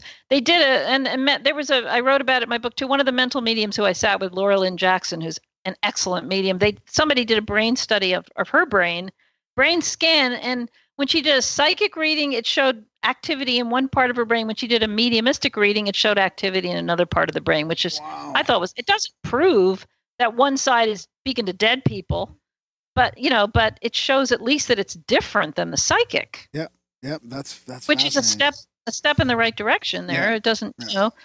I think So it's coming. one- I mean, I think it's coming. It's work that you guys have both done in this field. It's two of the biggest questions. It's what happens after we die, and are we alone? I mean, those are two questions that that you guys are, you know, leading the way and and making a difference in the world. That people are opening up to it. I really think it's changed even over the last few years. I mean, what what was your overarching question, Darren? Well, I would, I kind of disagree that our wheel. I don't think, I think our wheel Alone is a little farther down the list than one or two. I think it's maybe in the top five, maybe, maybe it even slips the top 10. But so that was kind of my question for Leslie is, you know, spending all that time researching UFOs is, is one thing, you know, you can kind of become more or less of a believer in, in UFOs and that's, that's great. But I mean, when it comes to consciousness, that can become a lot more deeply personal. So when you start doing all this research and looking into all this stuff, I'm wondering, you know, did that have any sort of are you different now than you were when you started the book? I mean, cuz this this stuff kind of has that ability a lot more than than flying saucers, I would argue. Yeah, no, I think it's a good point. I think it does have much more of an internal uh, effect for me. Anyway, it did because I could directly experience this. As I was saying, I can't. I've never seen a UFO. When I'm come, not. A, come I'm to not Calgary. an We'll take we'll take you out one night, and when you come to Calgary, Don't do it. Don't do it. Okay. Don't do it. I'd love to see one, but this stuff you can really engage with it, you know, to the extent that you want to. And I, I was fortunate enough to have two extraordinary readings, which are not easy to come by. I was I've been fortunate enough to receive communications that seemed to be from my brother, who sadly died during the time I was writing this book Yeah. but it was amazing the timing of it because um, you know I was in this mindset of very receptive, of high receptivity after he died, and it, it really, really was tragic for me that he died. Um, and I, I mean, and I even brought that in the book. I remember thinking hard, do I dare do this? You know, what if people think I've gone off the Leslie Kean's gone off the deep end? You know, but I tried to present it in a way that just says this is what happened. You know, make of it what you will. But when it happens to you, yeah, it's so transformative. You know, in a way that UFOs just aren't. And I also think experiencing physical mediumship when you experience, uh, you know, psychokinesis and all these things that are not supposed to be able to happen, and you can actually witness it for yourself. That has a different effect than studying other people's accounts of UFOs. Yeah. Good point. Yeah. Yeah. I would tend to So- agree. That's sort of my outlook on the show is that, you know, those ones tend to hit, to to stay with me a little longer than the UFO stuff. And I mean, that's just, I mean, we have a ton of listeners that are all in on the UFO stuff, but for me, the the spirituality and the stuff that that kind of stuff just seems a little more uh, tangible. Well, and we have a lot of people Yeah. sharing their experiences with us on both those topics. You know, their lucid dreams, out of bodies, um, uh, spirit communication, UFOs, all that stuff. And I think now finally people are feeling like there is a platform they can say it. They can. They, they like it when we read their stuff out on the on the show, and, and people are I don't know they're more open to it now. So I'm really ho- I'm really hopeful. I think in the next few years that it's and lo- as long as this platform stays uncensored and we're able to do this, I think it's it, it'll be uh, it'll be good. Did you ever get to interview Yep. Podesta while you were doing the whole disclosure? Well, he UFO wrote the thing? forward to her her book. Oh, really? Yeah. How was yeah, that? no, he's he's he's huh? How was that? What and what what, How's- what, what do you I mean? don't know. He just looks so weird to me. He's like, you know, Well, you got to be more specific. I'm not going to go down the whole Podesta road right now, but I mean, he's just he's quite the character, and he's he's super kind of you know he he he wear he plays the part well, and uh, he's just got to be something else to be around. Yeah, I mean, I haven't. It's not like I hung or hang around him or anything. You did not even I want. don't Did you get to hang out with him at all though? Oh, I've met him. I've had meetings with him over the years. Yeah, uh, but um, you know, it's not like, uh, you know, I mean, I if there's some way that he can be helpful, he'll be helpful. Yeah. But other than that, he's I'm not engaged. You know, I'm not particularly engaged with him, but he's definitely um, been very helpful over the years. You know, especially during the when- by writing for writing the forward to the book, and then before that, I was involved with him with this lawsuit against NASA, and he was very supportive of that. Oh wow. Um, yeah. So How'd that go? he's been helpful. How'd the lawsuit go? That was oh, that was an interesting adventure that lasted probably five or six years. Where um, it, it- I mean, it's a long story, but uh, it was the Kecksburg UFO case. You Oh, familiar with that case? a little bit. Yeah. Yep. The- You know, so I I was I had a a lawyer working with me, a PR firm, because I was uh, the Sci-Fi Channel provided this budget for this to happen, and um, we did this. For, it was all it was a Freedom of Information Act lawsuit because the NASA did not uh, cooperate with our FOIA requests as they were required to under the law. So we ended up going to court, and the judge was very supportive of us. And we got hundreds and hundreds and hundreds of documents that I had to go through. It was extremely complicated, and requesting the documents was extremely complicated and quite boring, really, but a lot of work. And we ended up getting lots and lots of stuff, but nothing about the Kecksburg case, Huh. Bastards. which was re- which revealed a lot in itself. Yeah, And, exactly. you know, yeah. That's how they get you. That's the government for you. yeah, I, I, mean, how uh, we. ha- I would not have the patience to deal with the government on the level that that. it took a lot of patience to do this believe me I and then i wrote up this long report at the end. It was just very kind of dry you know information and just what did it show? And it was very technical and uh, you know what did it mean that we didn't get anything and all of that. It I- was a long, you know but but Podesta was always interested in um, the the people's right to information. You know, in open government, that was sort of a, a theme that he had back in the days when he was at the uh, Center for American Progress. Before he became involved with, um, I guess he he left. He was chief of staff with Clinton. Then he went to back to the to the uh, Center for American Progress. That's when he was helping us, and then he went to work with Obama for a while. Um, and now he's sort of doing his thing. And he did something with ancient aliens. I was amazed that he did that, but he did. Oh yeah, Alex. Yeah, you, you shared that with us, Alex. I, knew didn't get a chance to that. watch it. I couldn't. I couldn't see it. No, everything's cool now. We should not. we should Okay. end it here. okay. Okay. So, is there anything else before we let you go, Leslie, that uh, you or Alex want to mention, or that you think we should Well, I was going to ask. or- I was going to ask when she was going to do a nice expose on uh, podcasts and podcasters and and that whole up and coming. What do you uh, What do you mean by that? Pitch Well, the story better than that. Well, Derek. I Come mean, on, give I mean, something. Come on. It's it's anyone who's paying attention knows that radio is on the way out. I mean, what's it got? Five, maybe ten years left. Anyone who's looking knows. Even even the people who are doing radio know that, and they're all trying to Yeah. ju- they're all trying to jump into podcasts, but it's too late, and no one wants to listen to their shit on podcasts. so I mean, audio is gonna fall, and no one wants to talk about it. Some of these Wired magazines and tech magazines are are kind of talking about it, but what's what's going to replace audio or radio? It seems like podcasts are probably going to replace radio, Yeah. and who's going to be at the Well, I- forefront? It doesn't seem like all these major players uh-huh. are going to have the same control. Like when it comes to podcasts, the New York Times isn't going to matter. The, no one's going to. I listen to the New York Times podcast. It sucks. No one's going to listen to it. I'm like, you know, there's no chance.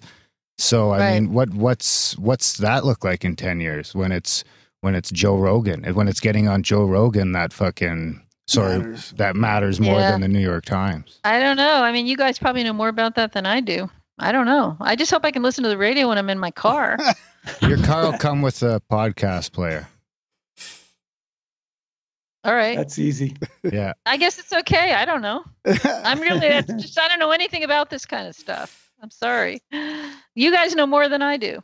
Well, we're looking forward to more of of this. Uh, you know, this sort of aspects of disclosure coming from you and and your team, and whether it's the New York Times or whatever. Hopefully, there's more.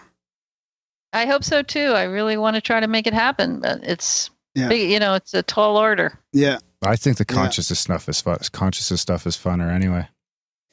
I sort of know what you mean. Well, I, I mean, is there any thought about putting some, if- even if you had something recent or something fresh from, you know, from your book, like the consciousness after death stuff? I mean, would the New York Times, would you have any leg in there for that kind of thing? No, I mean it's it's a news, you know, it's a news outlet. No, I mean, you know, the only conceivable thing might be some kind of mag. They have a Sunday magazine. Yeah. Is that sorry? But is that the- second book out already, or that's just Yeah. ready to Oh, go? yeah. It's out. Yeah? Yeah. It's out. Yeah. It's It I came out in that. March of 2017, and then the uh, paperback just came out in March of 2018. Yeah. Beauty. Um, yeah. Have you gotten I'm- have you gotten tons of stories from that? I'm sure you get an unbelievable amount of email from surviving death. Have you ever thought of turning that into some or doing anything with that, publishing it in any form? Or? Yeah, I mean, I want to go through because I've gotten some so many beautiful letters about how this has helped people. Yeah. You know, and I, I think it's I think I would like to do is when I have the time is to go through them all and maybe put some of them on my website. It's not so much to promote the book, it's to show the power that this information has. Yep. Do you have You the book it- there? Can you hold it up? Um, you know, the only problem I only have my one without a cover on it. If you want to hold on, I can go get it in the next room. But I don't know if you Yeah. want to. Yeah. You want, That's, uh, want me to? Okay, hold on. Okay. Good. Guys, she took the headphones off. We can say all sorts of bad things Yeah. about her. Perfect. No, I'm just kidding. well, I'm big thanks kidding. to Alex for putting this episode, helping us put this chat together. It's been been a blast. Yeah. Really good. Absolutely. Yeah. Man, you guys are terrific. I love you guys. Yeah. And I think this too, is one of like the first fucking time ever that our video has gone off. It looks like without a hitch over there. I haven't seen Brody swearing. Oh, oh, second time. Second time it's been yeah. So we're getting better with the video. It's it's gone good. So that's really good. It's and the great. audio's been good tonight too. Actually. Yeah. No, Audio's everything always sounded good. great. All right. You want me to just? This is the Yeah. uh, this is the hardcover that came out in a year ago, Oh, perfect. and this is the paperback that they did a whole new cover for it. Nice. Yeah. Nice. Beauty. So there they are, and they've got a lot of pictures in them. Right on. yeah, well, we'll have to have you on again uh, in a couple months and just spend the whole time talking about that one. Because Okay. I then it's That'd a little more in or less over my head. I think that'd be fun. He, you're There's a lot of information. Yeah, Darren's really interested in the ch- in the children uh, past lives. yeah, I the mean, he had- children's past life stuff really, really. So I've had some experiences with my kids, and yeah, we Oh, should really? do that. Wow. Yeah, we should do that down the road for sure. It would be great. And you know, Jim Tucker is the uh, is the expert on that too. From uh, I mean, have I'm been not an expert trying like to he get is. him on, but he's tough. He said, Yeah. he said no, flat out. I said no, really? yeah, but maybe now that we've had Leslie on, that'll he'll change his tune. Well, Yeah. you've interviewed him, haven't you, Alex? Yeah. Yeah. I didn't Yeah. think. I don't think he said no. I think he said check back. I should actually check it. I should Yeah. actually fucking clarify that. Yeah. I don't think he said no. I think he said he was busy and check back and like yeah, Probably sometimes- busy. Yeah, yeah. Probably we did very, have uh, who did we have on that talked about it a little bit?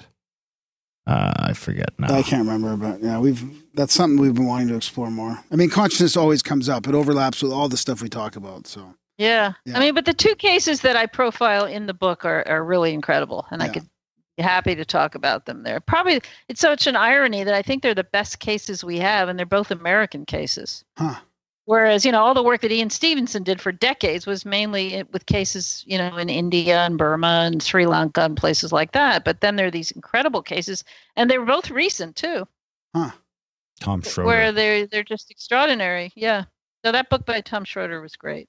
yeah, that's but these who we had cases, on, yeah. kids born in the one of them was born in the 90s, the other one was born in I think 2000 or something. So they're they're really really interesting cases. So- Lots of information.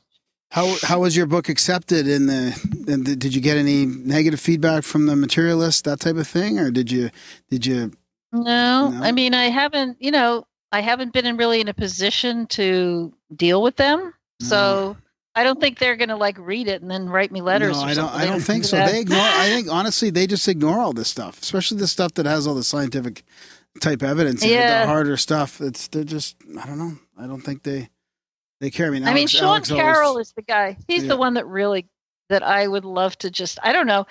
I wrote this article. I sent it to you, didn't I, Alex? Yeah, I mean, I don't know if I, I, I thought about sending it to Sean Carroll, but then I thought, I don't know. What's the point? Yeah, He must have heard it all before. yeah, exactly. Yeah.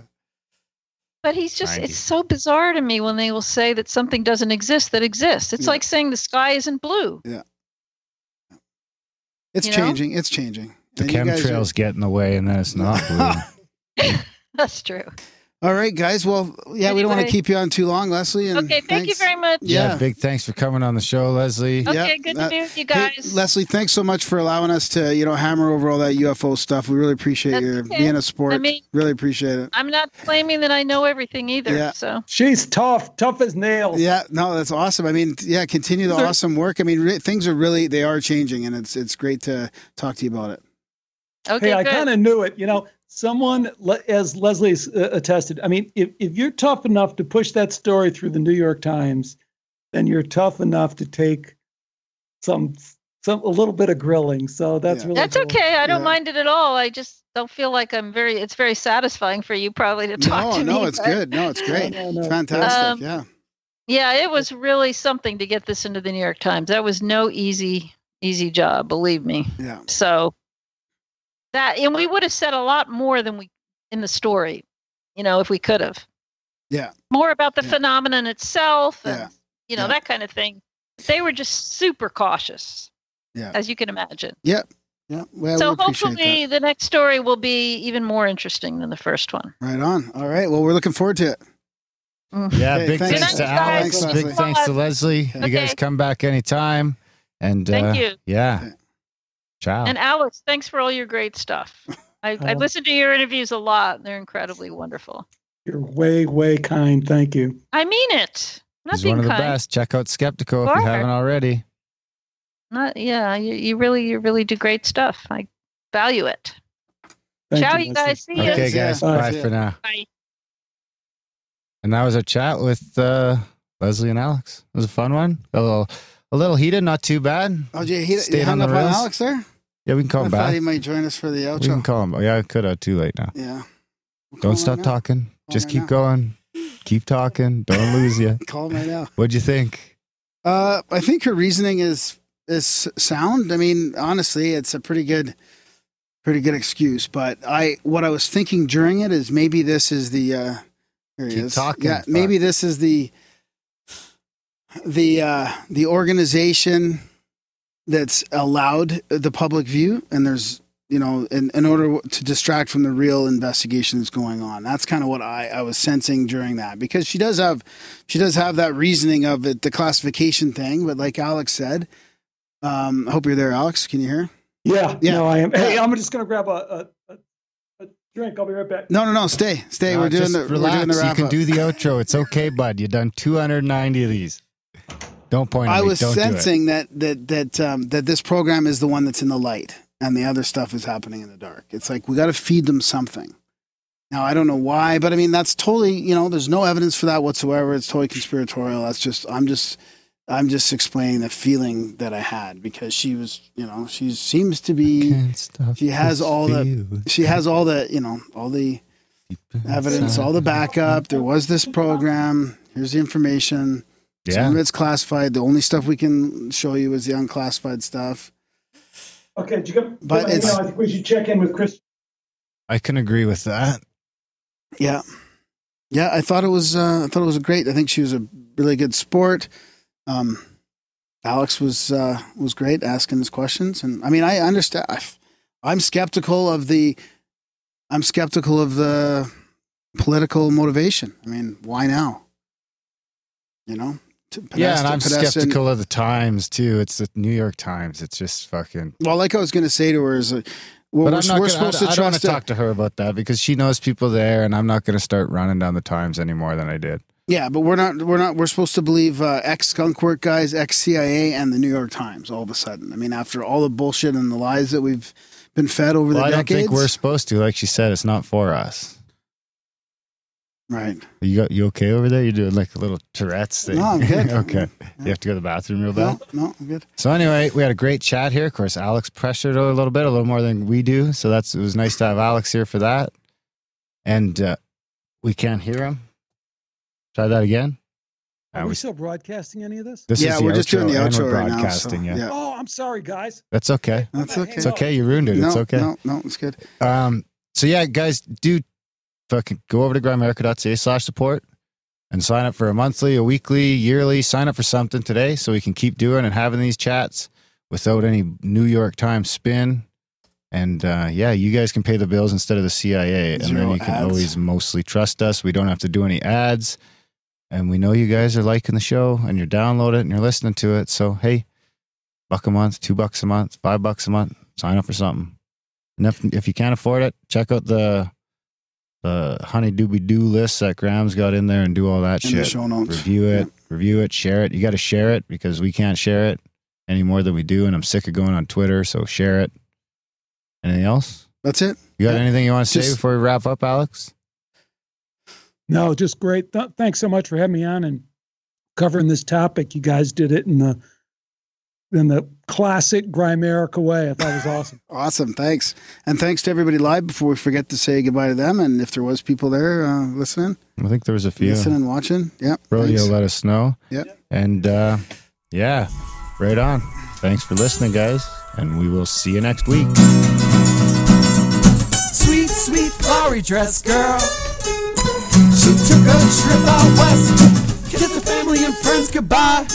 Went over to the pill and puff, picked up some postcards. Don't go.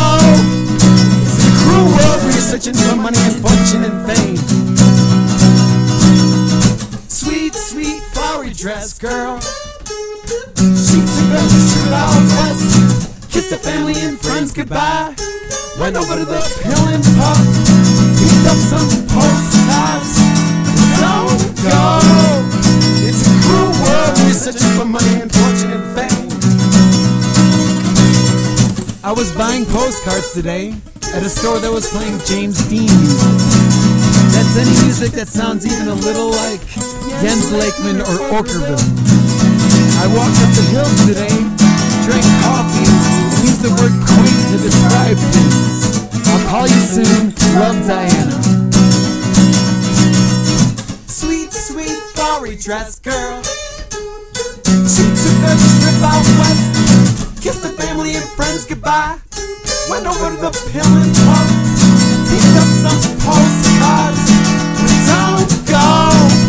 It's a cruel world when you're searching for money and fortune and fame. I stayed here once. My favorite shape is a triangle. My favorite food is a pizza. My favorite smell is waffle cones. Was scarecrow. But I had to wear my coat over which I hated. My favorite is rooibos. And flower is tulip. Right back with your you. And flower is tulip. Right back with your.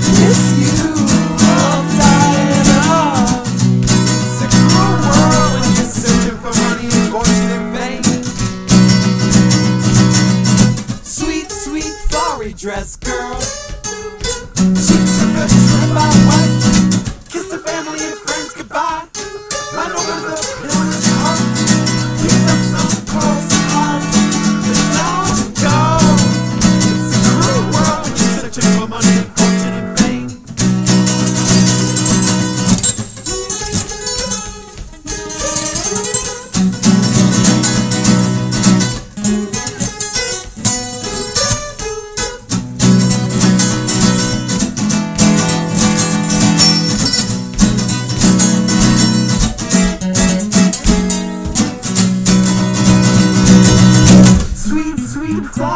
this girl. She took a trip out west. Kissed the baby and friends goodbye. Went over to the parents' house. Picked up some postcards. But don't go. It's a cruel world when you're searching for money and fortune and fame.